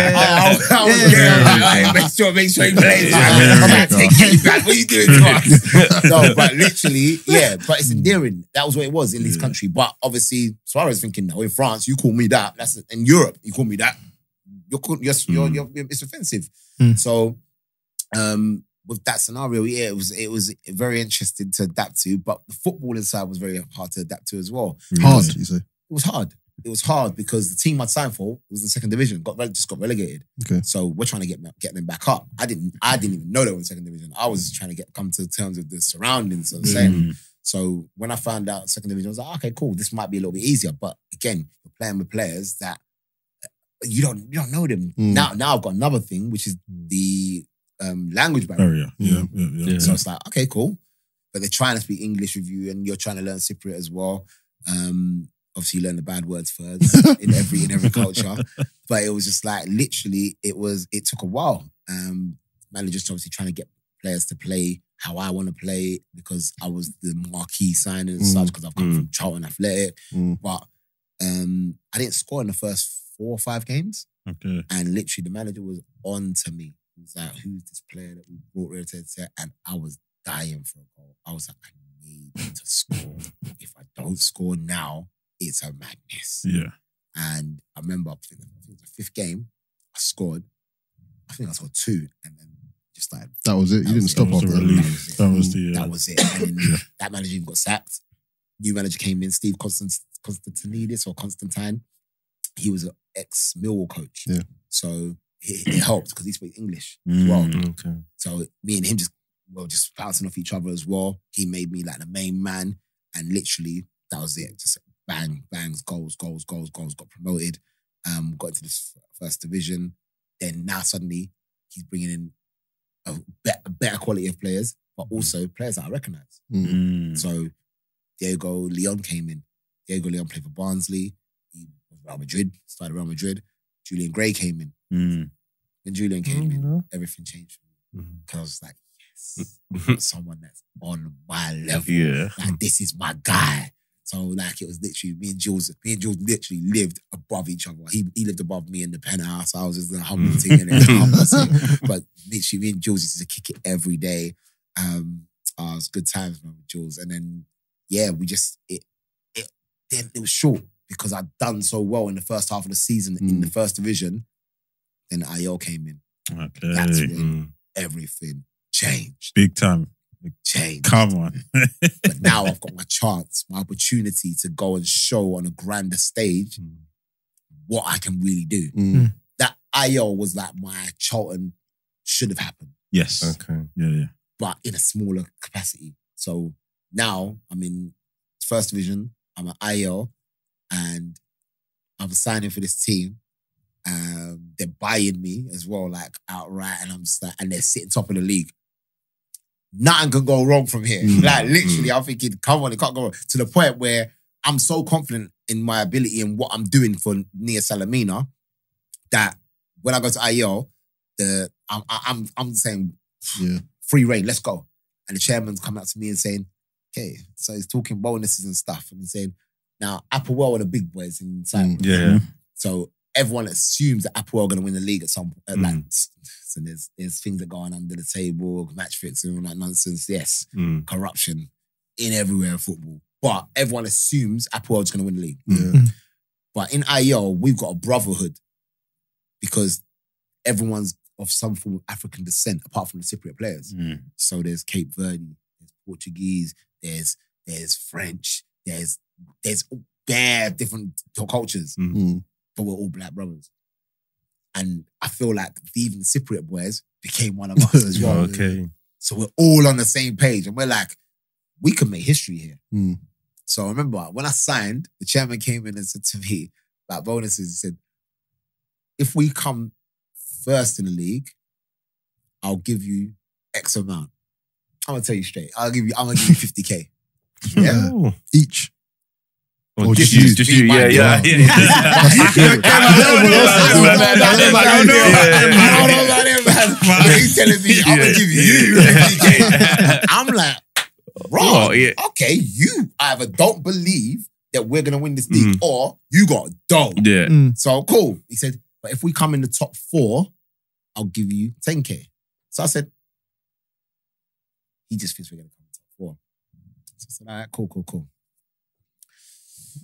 I was on a mission.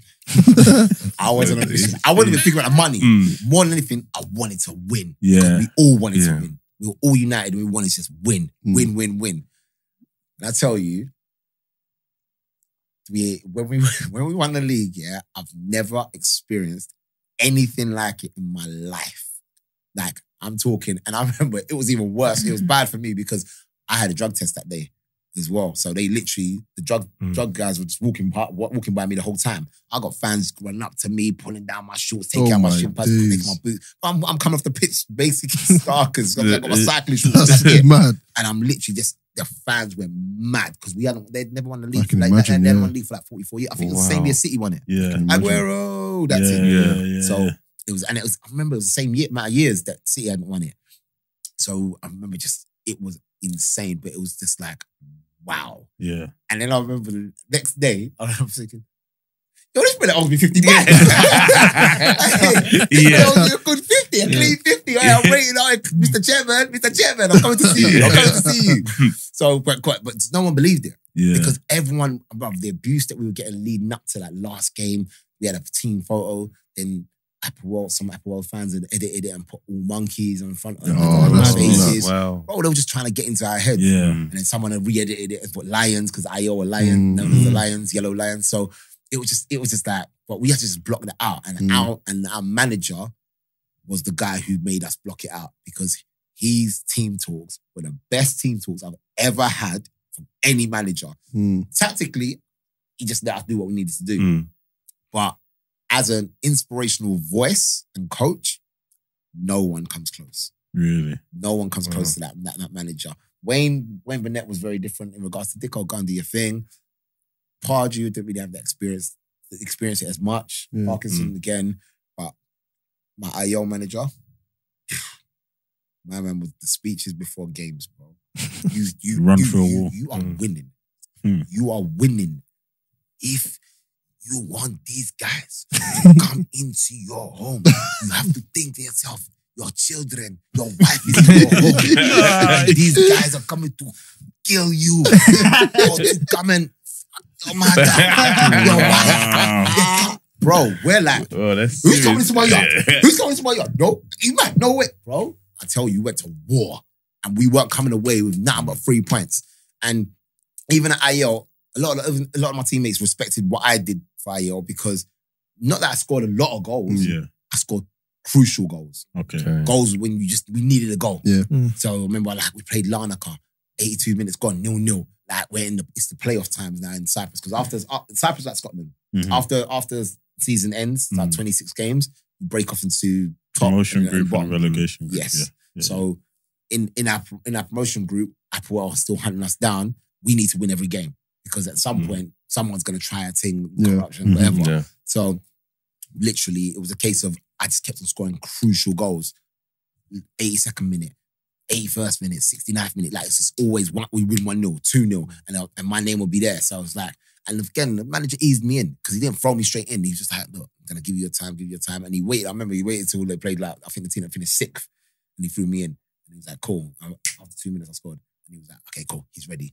but it's just like a case of just building you up and getting you to the intensity of where we are at the top of the table because you're coming from a team that's mid table Mm. we're putting you, you're, we're up here. So I was readapting to that as well, which was, but I just felt like I, ne- I never felt a closer unit than Ayo. Ayo Yeah. Limassol was Oh, wow. definitely like the time where I felt like Good. this is this is football.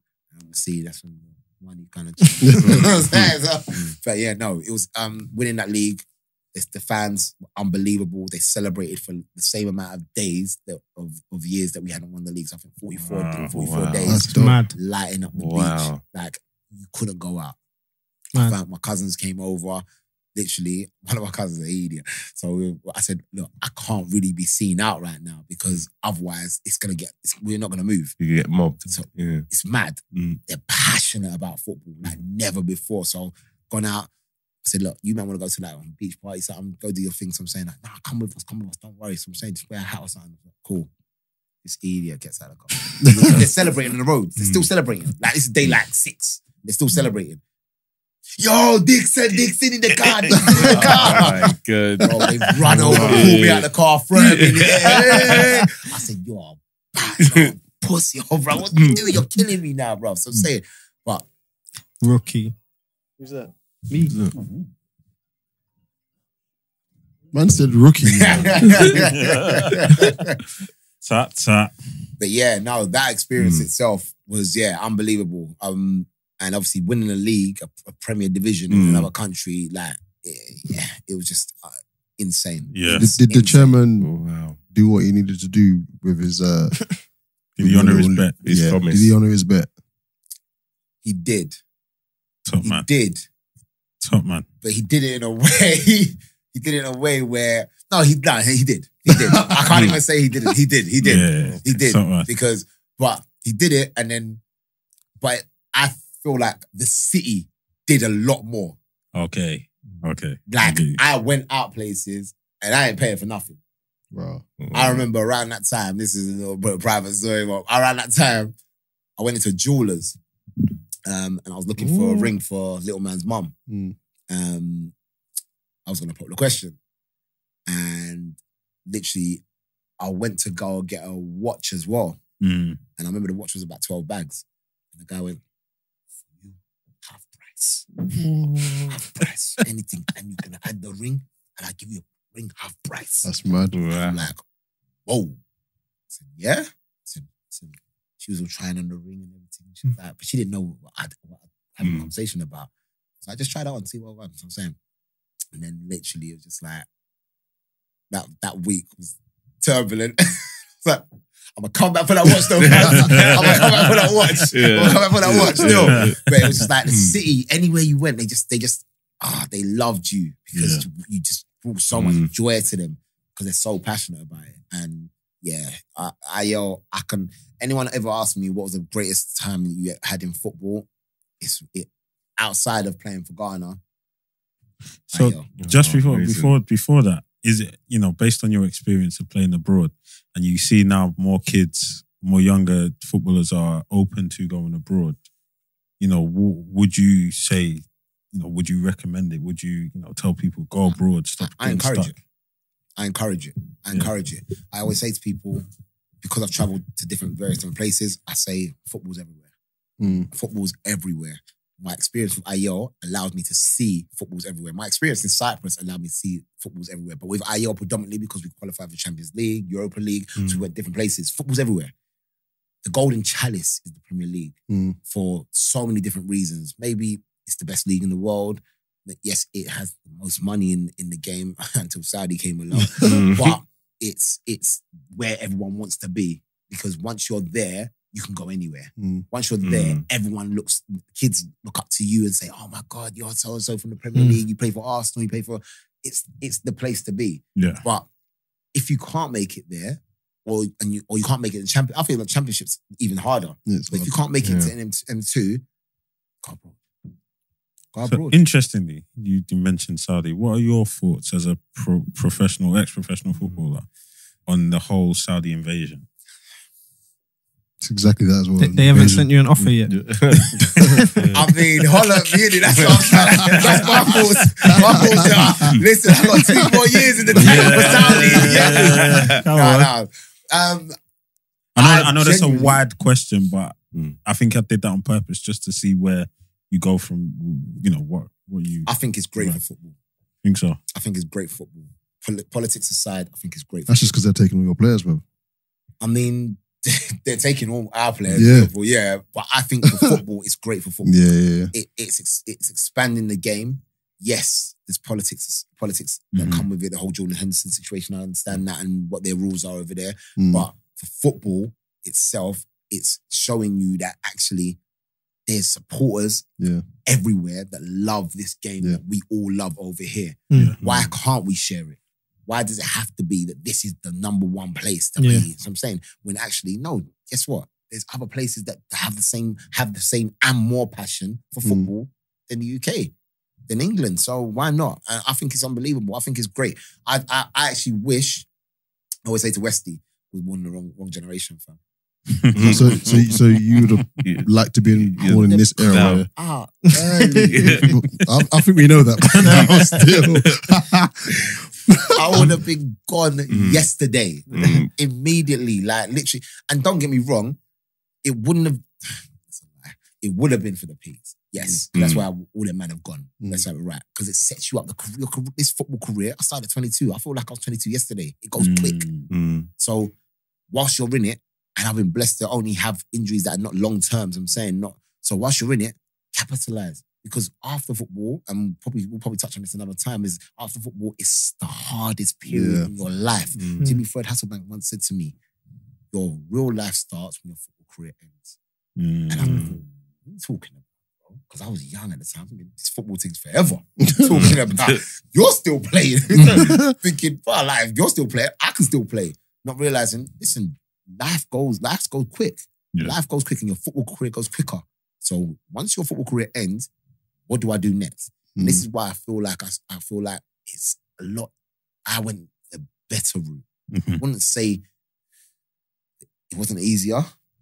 It wasn't. um I just feel like it was a, a lot better for me because I had life experiences before football, Yes. Mm. and then Okay. when I went into football, yes, I got lucky. And people say yes, and and yes, it doesn't often happen. It might happen more often now, probably than it did when back back then. But if I didn't have life experiences before that, I wouldn't know what I'm gonna do after football. Mm. Whereas a lot of these academy boys, they go strictly through football and then it's like, and then they get dropped and it's like, Mm. what do I do now? They've never been in the real They've world got before. No, Mm. no, no other other Got no backup plan. no anything. skills, Yeah. no other skills. Man, literally, what do I do? So is there is there really no kind of not necessarily aftercare, but for academy players who don't make it, I mean, in the process, is there not some sort of kind of uh, of um, I don't know, class or guidance to say, right, yes, you're on the path of football, but if you don't make it, this is what life will be like. Ten percent. The ten percent is who you know, hmm. who you know, because that's the only people that are actually really going to look out for you if they genuinely care about you. That little ten percent, that ten percent manager where he's where he's where he's coached you, he sees you. You're not going to make the cut with me, but you know what? I've got a mate that at a different club that Got could you. probably get you hit and look after you Got you. here. But you can't do that with 22 For players. everyone, yeah, can't do that everyone. yeah, yeah. It's impossible. So Mhm. you might have the one, the two, the three, but otherwise, the rest of them, I can understand they fall out. They fall out of love for it, and the rejection is mad. If your mind mindset isn't correct, I, can- I understand why mental health is rife in that, in that Mhm. department because it's just like this is all I've done as a kid, hmm as Mhm. as a five, six year old. That's all I know. And I've come through the system and I'm thinking I'm gonna make it. And then at 14, 15, for whatever reason, it could be any reason. Yeah. I've not made the cut. And now what do I do? Like, I don't have any other skills. Like, I don't know anything else. I'm saying so. It's it's it, it- there isn't, and that's why Trent Trent and I see the, um Stephen Corker, Yeah. um, um, Jacob Mellis. Them lot are doing Yeah. a project at the moment, and I'm thinking, and I, it's beautiful that they're doing that because it's not just for us; it's for them kids. It's also people that are contract Yeah. as well. When you got Mhm. a contract, you need somewhere to go and someone somewhere to work, somewhere to, and it's not just for football. You can- They're trying to find other avenues for you to Okay. because you need to be out. You can't just bash somebody just like that. So it's it's just it's it's mad. It's mad. But- And and again, ex pros that I've spoken to, we've had this conversation so many times. I've had this conversation with so many men and said, why don't the FA allow ex pros to help these players? That's why so many ex pros are now trying to be coaches or trying to be agents or something because they want to help in that that gap. Of course, they want to make they want to have something to Mm. Yeah, make a living. make a living with Mm, as mm. well, but they want to help. Yeah. They want to help because Yeah. that, there's there's a massive gap there, Yeah. and it, and it's there to be filled, and the FA could fill it. How much money these guys make? Mm. They could fill it, but So you said you you touched on the the fact that you played Champions League. Yeah, Explain to us what it's like hearing that fe- anthem because we all do it. We all hit, listen to it, I, and we all close our eyes and wonder what it's like. But you've actually lived it. So, So- what is it? Goosebumps? what is it? yeah, it's bad. It's bad. Is that Erith, obviously I'm back at Erith Yeah, right now, Yeah. and obviously we have people on the radio in it, like I'm on the radio doing the music, whoever does the music, and um and I I usually get my Bluetooth connected to it first because I've done it. I've, I've done the last game or something like that. and uh, I'll say, guys, who's connected to the Bluetooth? Who's connected to Bluetooth? And they're like, I don't know, don't know. And I know it's me in it. I just put on the Champions League. I'm like, hey, come on, India, you're connected to the music. Like, but I'm standing in the middle of the changing room like, the camera's going fast. I'm doing a little wink. no, but I'll be honest with you. Um, it, it's it's um, you just feel like this is football. Really? Okay. And again, I felt more than anything because at that point I had a son. Oh, Um, it was only one, Yeah. but it was like, I know you're watching right now, Mm. and I know this is going to be memories for you to see and, Yeah, and, yeah. and and maybe inspire you, or maybe just be proud of. yeah.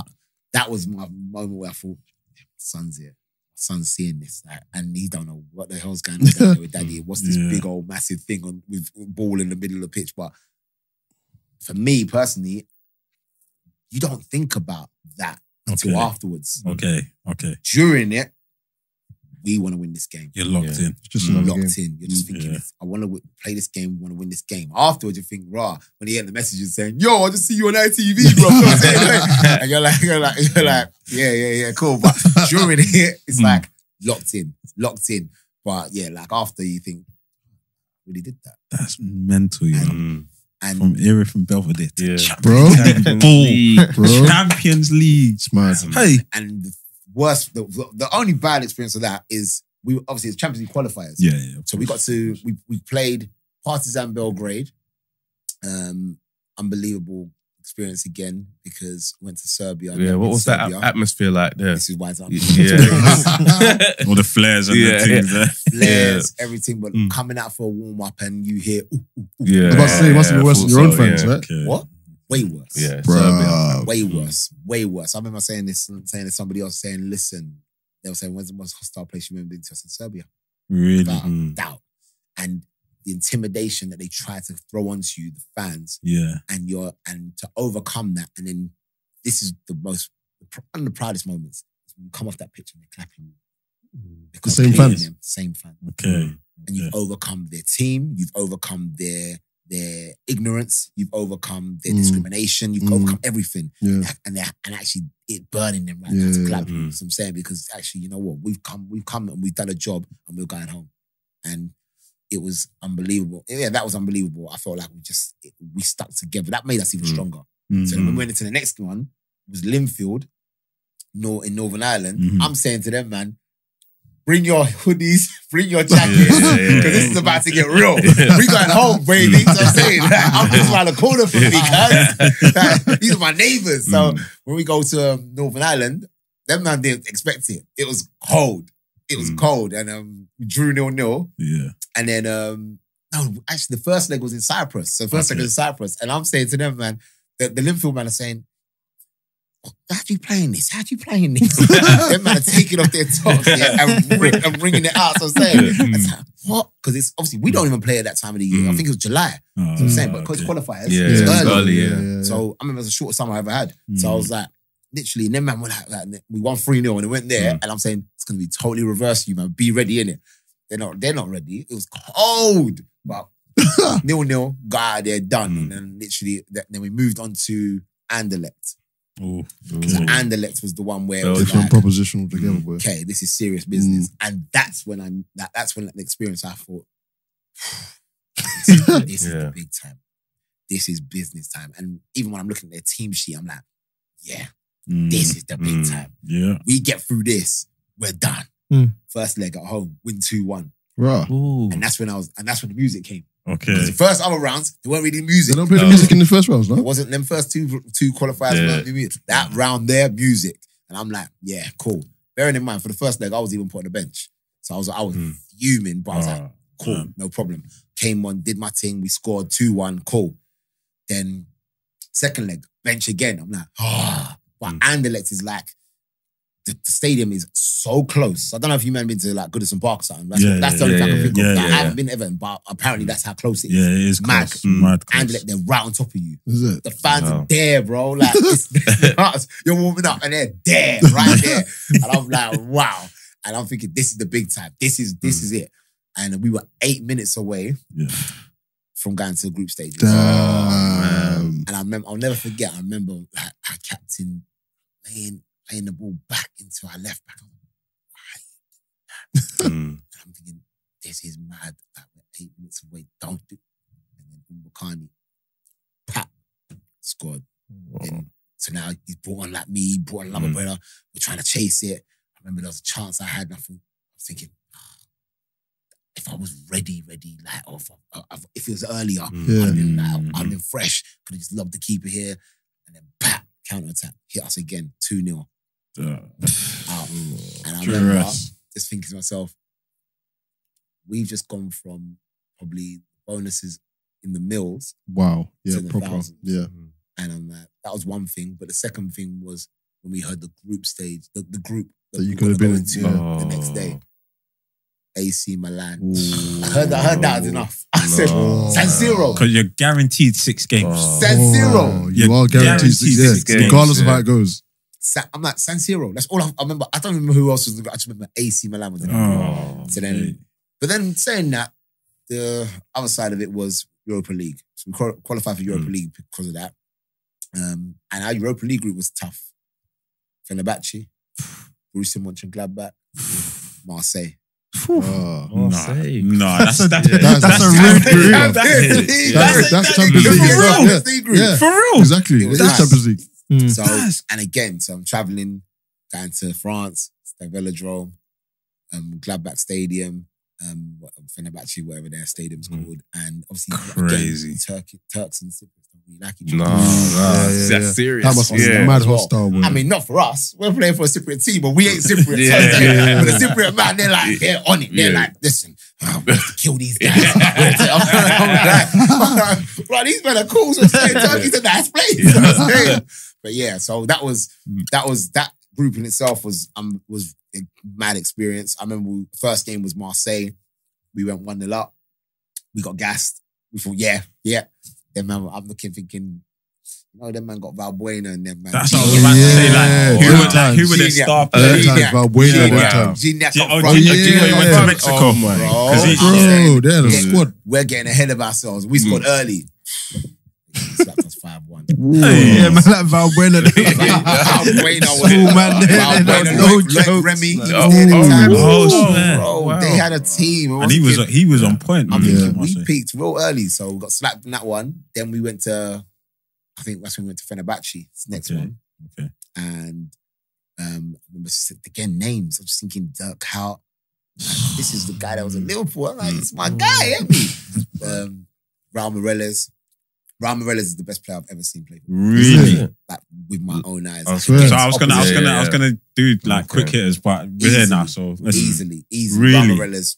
I've never seen someone just so cultured and relaxed Swear. in, an, an environment and just, just, just nothing phased him. Nothing phased him. Really? Raul Meireles was unbelievable. Um, and then we went to no, I Joseph Yobo played that game as well. Joseph Yobo.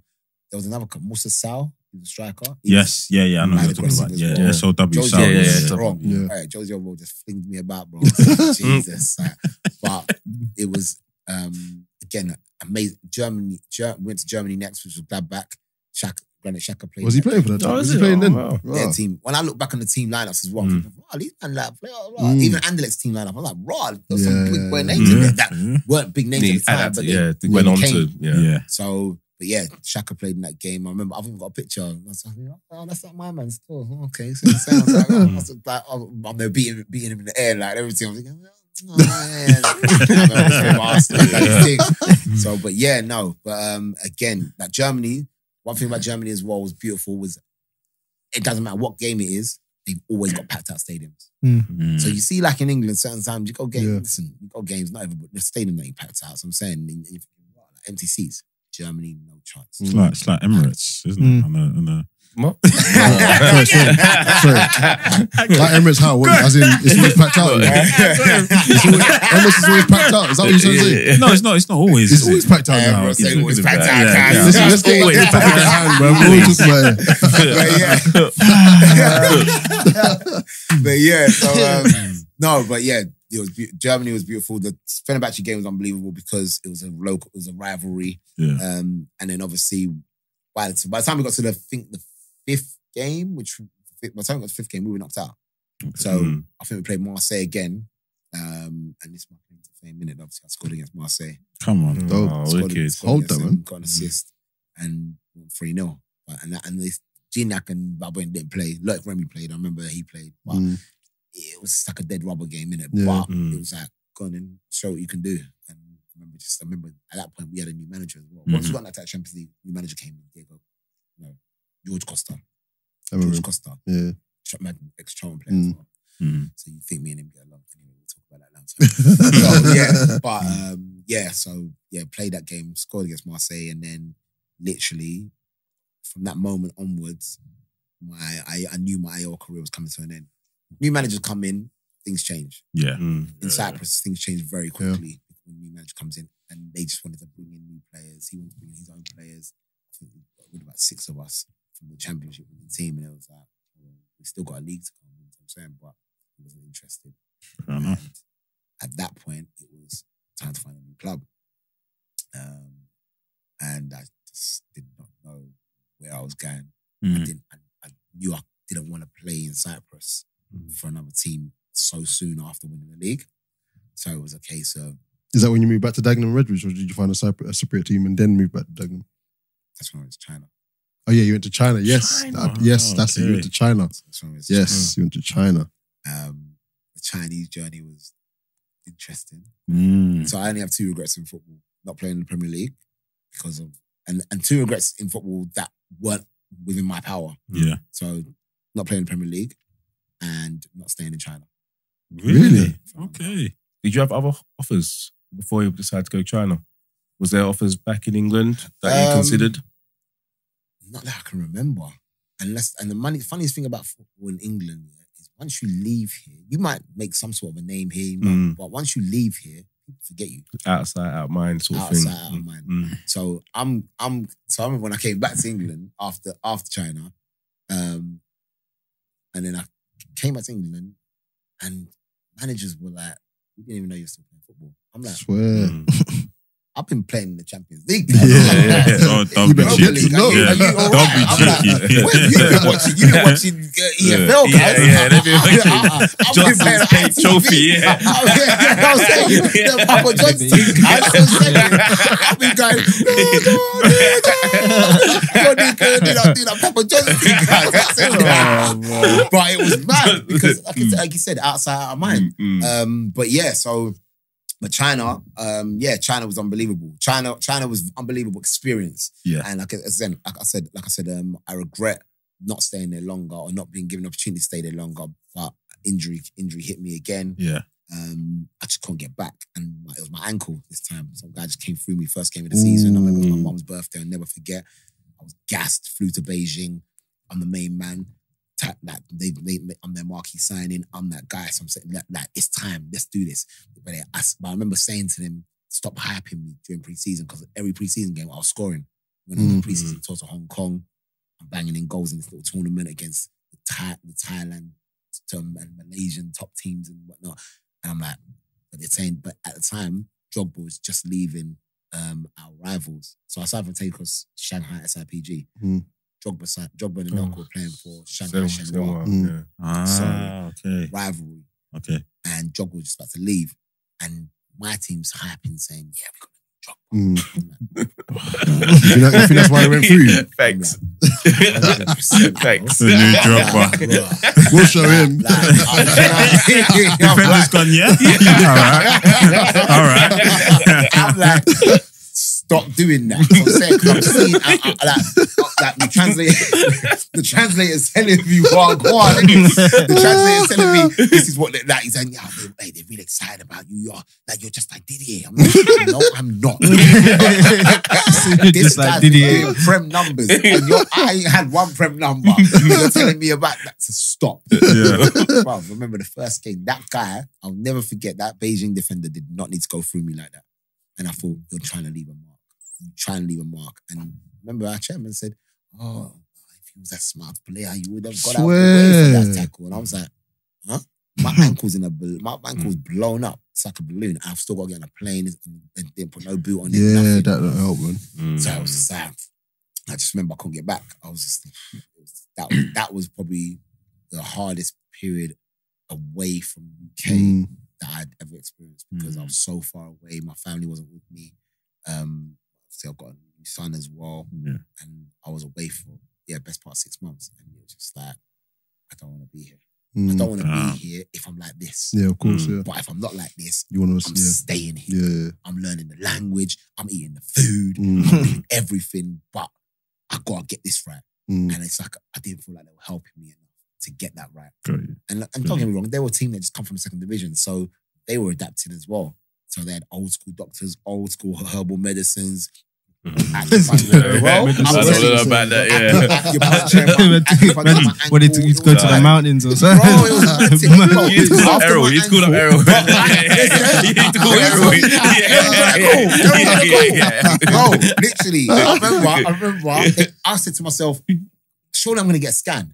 Mm. And they're like, no, no, no, no scan, no scan. We fix, we fix, we fix. I'm like, I'm like, I'm like, what do you mean? I'm like, what do you mean? Like, oh, they're putting like needles, giving me herbal remedies. No. and this No, no, I Take me to hospital. had right now. I've never had an injection ever. Oh. Injections in my ankles. They're trying to bring the swelling down. I'm like, I just need a scan. Like, no, we can do this. We can do this. After three days, they're telling me to run. Bro, I can't run. I can't run. I literally cannot run. They're taking a mick. I'm, jo- I'm trying to. Bro, Person run, you know. Nah, that is mad. I'm jogging. Wow. I'm trying to jog, and I'm just, You actually tried as well. bro. Like it's like I'm like it's never gonna happen. So yeah, I was yeah, I was trying to jog, trying to jog, and I was like, I'm trying my hardest to get back, but Yeah. it's not happening. Mm. So a month went by. Um, I started to feel a bit better. Played a res- reserve game. Passed a Cruyff turn. Went again. Mm-mm. No one near me, and I'm like, this isn't right. Called Errol. Yeah. called Errol. Errol was out. Why didn't you call me three weeks ago? Like, Yeah. I'm like, they said they could fix it. We can fix. We can fix. I said, okay, cool. Errol said, send me. I said, Errol said, first things first. Tell them demand that you go and get a scan. Mm. So I said, he said, I don't know what they're gonna see. Much, if they're gonna see much now, but there's still fluid in there. Whatever. When I got the scan, I sent it to Errol straight Mm. away. Errol was like, right, cool. He told me exactly what happened. He said, are they putting you in a boot at any, at any point? I said, never been in a boot. He was like, what? That's the first thing you should have done. And you've been on a plane. That's yeah. Still, Mm. And they help, ask man. you to run. They go, come on, man. You gotta look up. And I'm like, Errol, I'm, I'm, I'm, I'm not wise to none of this. So- I don't, I don't Mm. know. I just, I've never had anything like this Mm. my- Mm. like this kind of injury before. So, so as time went by, it was just a case of I'm not getting back fit at any point. I'm eating, I'm putting on weight. I'm just like, what? And I literally had there was nothing I could do, and it was a case of you need to um, pack your bags and leave. Mm. And I remember around that time, my grandmother died as well. Mm-hmm. That didn't help the that didn't help my mm-hmm. cause because I had to fly to Ghana Mm. to go and bury her, um, and they were not happy about that because they're thinking you're injured and you're you're injured, you're not playing for us, mm. and you're flying flying to Ghana. And I said, listen, nah, I have to go. That's my that's my mm. grandma. Yeah. Mm. So I went to Ghana. When I came back, that was pretty much the final straw. And they said, look, we've got to terminate. We're gonna we're gonna we're gonna terminate your deal. I said, cool. Well, signed a two year deal. Pay me up. Mm. Um, was decent. and, then, and then I came back, but now I'm semi injured, overweight, need to get back fit. Went to see Errol. Errol just said, look, this is what we got to do. Um, but at the same time, I've got that hunger. I don't want to leave the gap of not playing. So Errol was like, whilst you're doing rehab, go and just go and enjoy it. Just go and enjoy a little bit. You seem sound like you've been through the wars for the last six Mm. months. I was like, but I know my enjoyment with this new money as well Mm. is gonna be very different.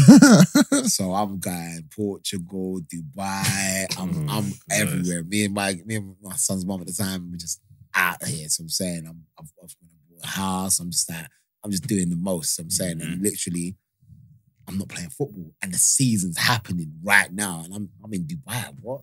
remember I went to Dubai. I went to Dubai, Dubai at 84 kg, which is usually my fighting weight. Hmm. I came back 89, Mm. and I went back hmm. a week. Hmm. Eating good. well, man. I didn't do any exercise, nothing. I was just, just enjoying. And I was like, I came back and that was the hardest 5K I've had to shift. Like, Jeez. if you know how hard it was, I just could not get going. I was obviously semi-injured as well, still, still. Yeah. And then I got a phone call from um, Wayne, um, Wayne Burnett. And he said, look, come down to Dagenham um, just, just to get fit. Yeah. Anything Yeah, yeah, yeah. and then we'll see if we can offer you something. And what he offered me, you got, if you got to think, my my mind state is, I've just gone from the highest earning contract I've ever had Yeah. my whole life, yeah, and I'm about to sign for Dagenham. Probably what he offered me was probably the second lowest I'd ever had Swear. in my career.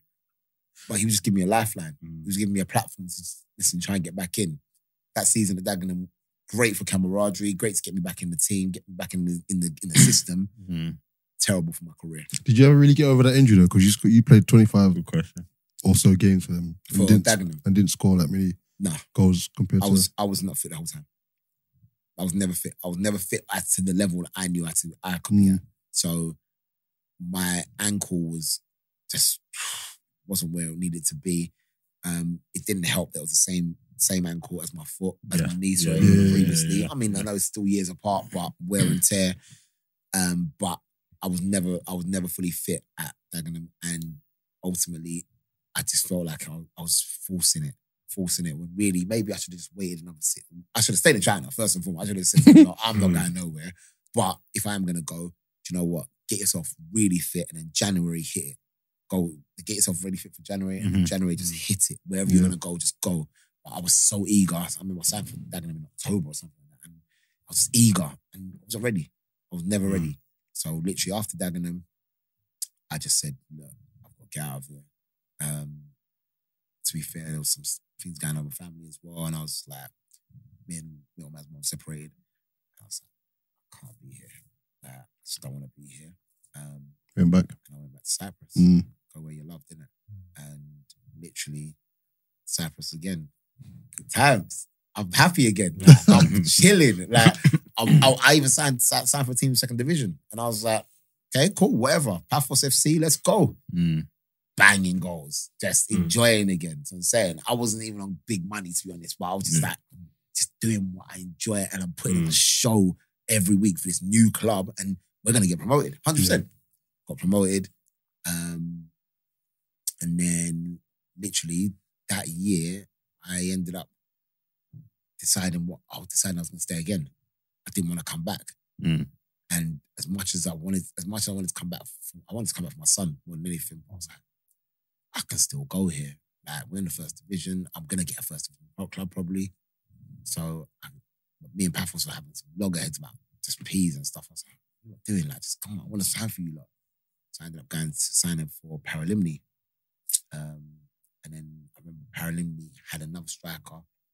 He was, he was one more money than me. Mm. Again, they, they, he was a bigger name than me for some reason. Dead.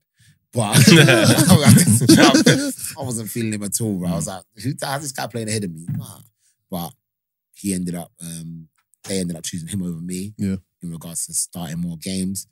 So, all right, cool. I think, I don't know how many goals I scored, but I ended up going to uh, Miss, who were higher in the league than uh, Paralimni anyway. Mhm. Went to uh, Miss. The chairman, uh, this is that the head of the mafia over there, innit? He's my guy. So being he was there and he was trying to sign Julian Gray as well. So trying to get Julian in. And I was like, yeah, get Julian, get Julian, get Julian. I was trying to get Jules in. And then and literally I remember just thinking to myself, any I remember going to his yard and I was thinking, I gotta tread carefully. You know what I'm saying? Mhm.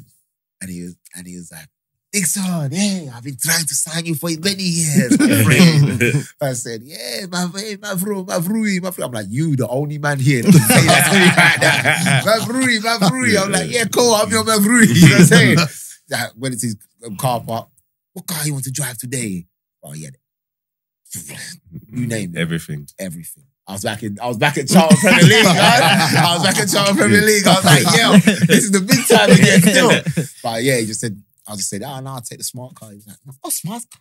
Bentley, Lamborghini, come on. take the smart car, I'm calm, that's what I'm saying. But it's that he, he really loved my character because he'd heard Yeah. so much good things about me Mm. as well. So me and him just clicked. Um, but it just came to a point where at the end of that season, it was time to come home. Mm. Daddy, daddy. Yeah. Yeah. And I was like, yeah, It's time, now. It's, it's time to come back. Yeah. Um, and then I came back, and then that's when I that's the second time I heard. I went when I went to Sutton. Second time Mm. I heard. I didn't know you were playing football still. I'm like, Mm. like, have I been under a rock somewhere? What's going on? And as I said to you, when you leave UK, outside out of mind, but even more so, the, the, you feel like the higher ups don't want to let you back in, Mm. especially when you're on the other side, other side of thirty as well. So thinking, who's this guy? Like, who's this guy who's been abroad? Mm. Like, okay, cool, you won the Cypriot League, well, you played in the Chinese Super League. Whoop de doo. Like, and I'm like, no, no, no, that's a big deal. And even now, as we fast forward how many years, 10 years, whatever, that's a big deal. You go, to, you, Mm. you, you say you, you won a league, Premier League in another country. Mm. That's a big deal. Certain Saying. top level Rules. strikers can't say they've even won anything. There's certain, bro, you know, you know what it is. Allow, allow Harry Kane. Allow Harry Kane. Pardon? But it- Allow Harry You can't say that though. but it's like, Mm. like you can't.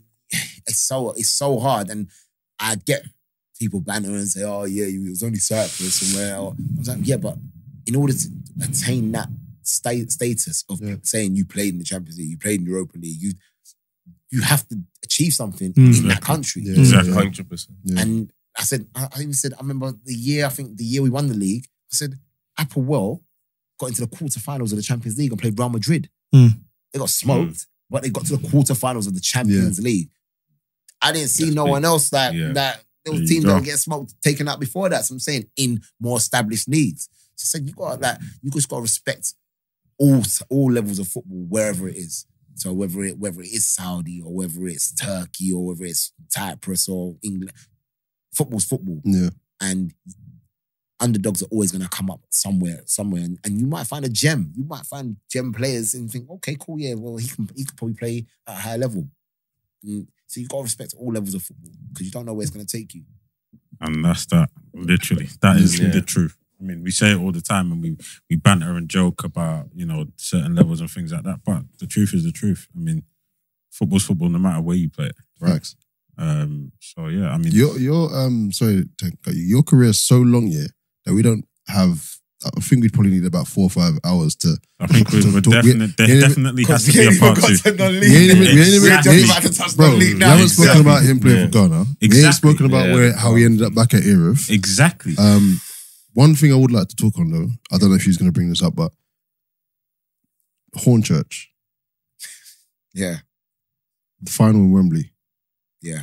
particularly, you didn't start that game, but you definitely had a massive impact. Why So- didn't you start the game first and foremost? So let's go back Okay, quickly to the semi final. okay, So the semi final was more memorable to me than the final. Mhm. And everyone thinks, everyone says, what? You played at Wembley. I mean, Mm. Semi final, we was in COVID, first and foremost. Mm, I was on dual registration because I was at Dartford as well, because we obviously COVID hit. Hornchurch's league got locked off. Mm. mm, I got a dual reg move to Dartford. Yeah. Then COVID hit Dartford's league. So it was like, whilst Hornchurch were playing the trophy, I was playing for Dartford. And then I'd come back if Hornchurch had a trophy game. But Mm. they didn't have any league games. So I was playing for Dartford Mm. league and then going back and forth. And then there was one particular game where I think Hornchurch were playing Maidstone, maybe, I think, and Dartford were playing Welling Mm. and that was that was the trigger. Luckily, the following week, Dartford League got locked off anyway. Mm. But that was the trigger to tell me I'm going back to Hornchurch, irrespective. Because the Dartford manager at the time, Steve King, I love Kingy, but what he did was dead. So I'm saying, like, bro, what he should have done was pulled me and said, "You're not going to be involved this week mm, um, of, of on the game on Saturday. So go go and play with Hornchurch." Mm. And I and I, I gave him the opportunity. I said on Thursday training, if I'm not going to be involved, please tell me. I even came to Dartford's game with both tracksuits. yeah. Mm. Oh, both tracksuits. Yeah. So b- my tra- Hornchurch tracksuit was my car. I came in my Dartford tracksuit. He didn't name the squad until you know random usually name the squad early Uh, It's doors. Late, like, late, tw- between yeah. 22 and 2 o'clock, the, Mm. the team's announced. 10 past, 5, 5 of 10 past 2, he's named the squad. I haven't even got, I've still got time to probably get to Hornchurch, but Hornchurch obviously named the team by now. Mm. So what can I do? Mm. So I wasn't in the squad. Well, I remember Cookie tore us up. We drew 2 2, I think, but and I was like, and I'm just, I'm, as I'm, I'm, I'm in the stands watching the game, and I'm just watching, I'm just watching Hornchurch's game on my phone. Mm. I'm literally like this, and I'm like, oh, oh, Cookie scored. Dartford scored. Oh, great. Mhm. I'm like this. I'm like, come on, come on. Yeah. People are like, what's going on? I'm like, oh, church, one, five, four. Like, buzzing. So, when I did come back to Hornchurch for the trophy games, because the rounds before, them man had done so well, Mm, I was never going to start because it's got out of respect. The manager's Yeah, yeah, yeah. these men have been here grafting. Yeah, go, yeah, yeah. You've gone to Dartford. When you come back in, listen, got to let them do their thing. So the semi-final, Notts County, we saw that draw and we was like, right, well, it's been a good time. It's been, it's been a great run. The fairy tale's over. And, I, and I'll be honest with you, if that game had gone to extra time, the fairy tale was over. Mm. Definitely. Empty stadium, Notts County. I remember when, even when we pulled up, I still got, I got, I, I see me, I'm an energy and jokes guy, so I'm saying, but we pulled up to Notts County. I was like, yeah, them, man- them man are like overawed, like this is nuts to them. Like Mm. Notts County, I'm like, bro, like man was playing on that, that one over there, the not in Nottingham one like a few years back. Yeah. this, is, is this, is, this is nuts. I'm saying, but I can see, tell that some man, like, this is a this is a big deal. There's a Mm. few players in, our, in the Hornchurch team that have played pro, like they Mm. they they had used it, but the majority hadn't.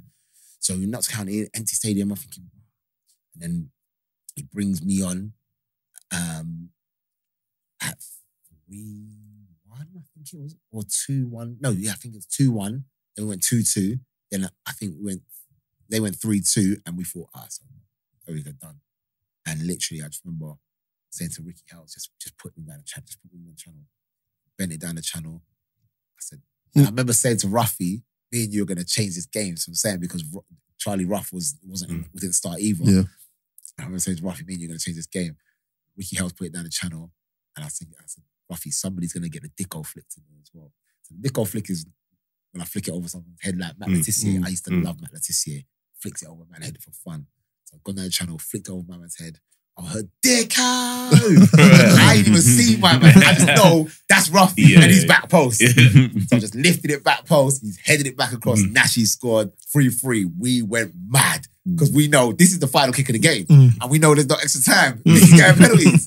And, we and, and deep down, we're like, we know Wright is that good. Joe Wright and goal. Mm. He's that good. He's going to save a pen. Mm.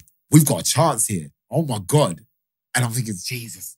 So, says to us, oh, name the five penalty takers. I just looked at the gaffer. I said, five. don't, don't care about anything else. Five.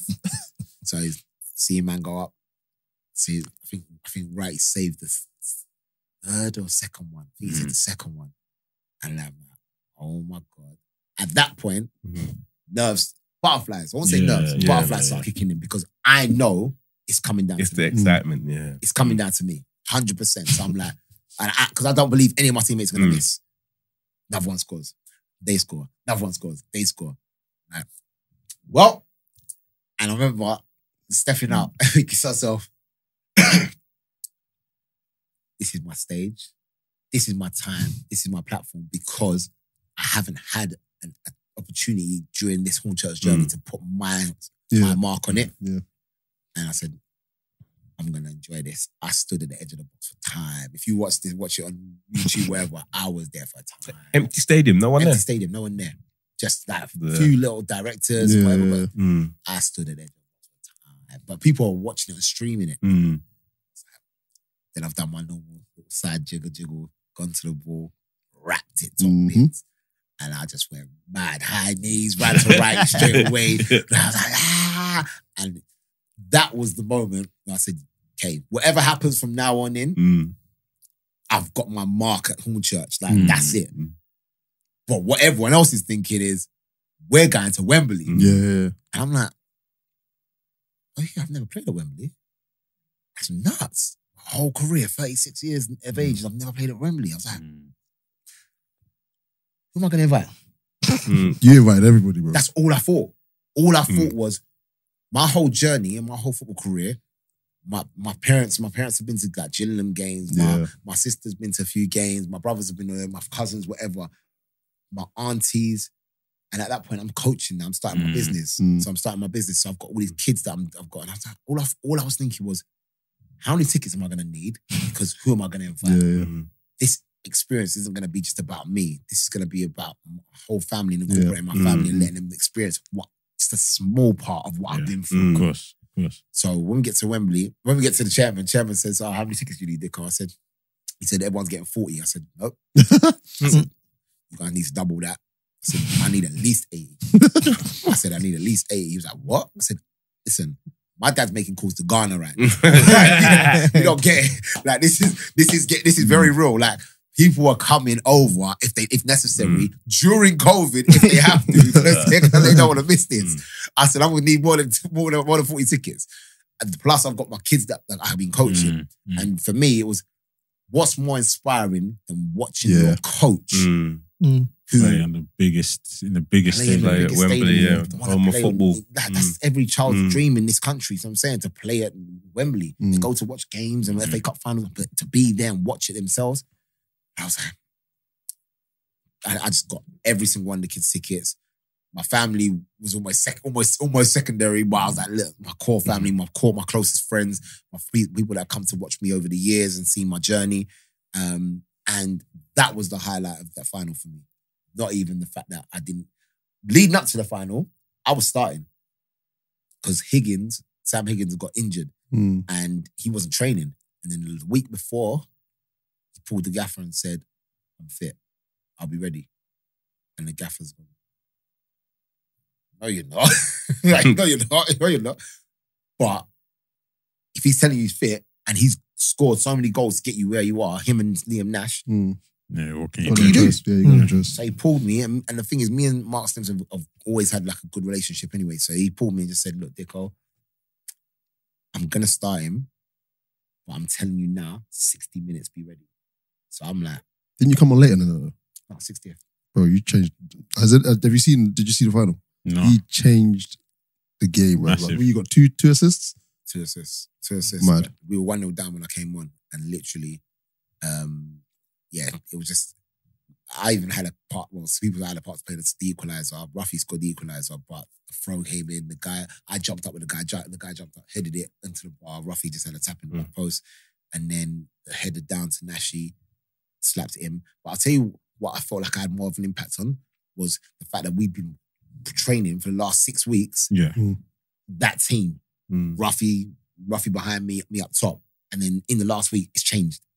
And so when me and Ruffy came on, it was like, yep, let's go. Back to normal. Yeah. Back, Back to to what, normal. where what we've trained. what we've been yeah, doing for the last yeah. six weeks. Okay. Yeah. And that's just familiarity. Mm. That's just knowing that Yeah. this is what it is. No, no, no offense to Spenno, no offense to Sam Higgins, but because they weren't in the team Mm. that that was gonna start initially, and obviously Spenno had come back from injury as well. I think so. It's like they've gone in now, and obviously go and do your thing. So I'm saying, but ultimately, the team that was actually gonna start was the team that finished. Yeah. Mm. And literally, I remember just seeing my phone after the game and say, everyone's like, this guy just came and changed the game. Literally, bro. Mm. Like, I was like, God, I need like two, two assists, and that's what I'm saying. But I Still, knew inside two my- assists at I Wembley knew deep, is- deep within myself that That's I had changed this game. You had. And Yeah. Stimo promised me 60 uh, on 60th minute. I remember sticking up my family. My family like, what's going on? What's going on?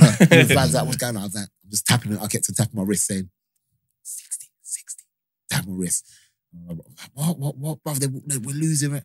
The fans was like, it was, I'll be honest with you, the, fe- the game generally felt dead up until me and Rafi came on. It didn't look great. I'm not gonna lie. I remember. And literally, as soon as me and Rafi came on, it was like a whole resurgence. It was like, whoa, we're coming alive again. And Ruffy doing like kick ups on the sideline for the for the Nashi's goals. It's like a madness. One doing kick ups and then just licks it in the air. I win the head and Nashi comes and slaps mm. it in, and it's like game over. We know we're not losing this. Obviously, I had to shout at Ellis because Ellis is gonna watch this and say, I gave a little Ellis little flick on. He ran from the halfway line, and then I'm running with him like, Els, go, just go, just go, go, go. And I thought, hold on a second, is this guy gonna shoot? You better square this right now. he shot and scored, and then he was man doing gum fingers Wembley. The only man I know that's doing gum fingers Wembley. I said, nah, but I love Ellis, man. And then yeah, but it was um that the experience for me was for my people more Yeah. than more than Yeah, yeah, semi final touched me more because obviously Mm. the penalty and whatever. but. The, the Wembley experience was my people. Everyone says, "Oh, what was the Mm. stadium like? What was the what was the ground? What was the change rooms at?" I'm like, "Yeah, it was alright, but it was good." Uh, Was it, Wembley was the best best stadium we ever played in? Mm, Probably not. No, Yeah. but but for my people, it's the biggest experience. David, Yeah. my dad doesn't stop talking about. Hey, you're my son. Yeah, you play at Wembley. You know, come and change the game. FA Trophy. FA, the man's even saying FA Cup. FA Cup.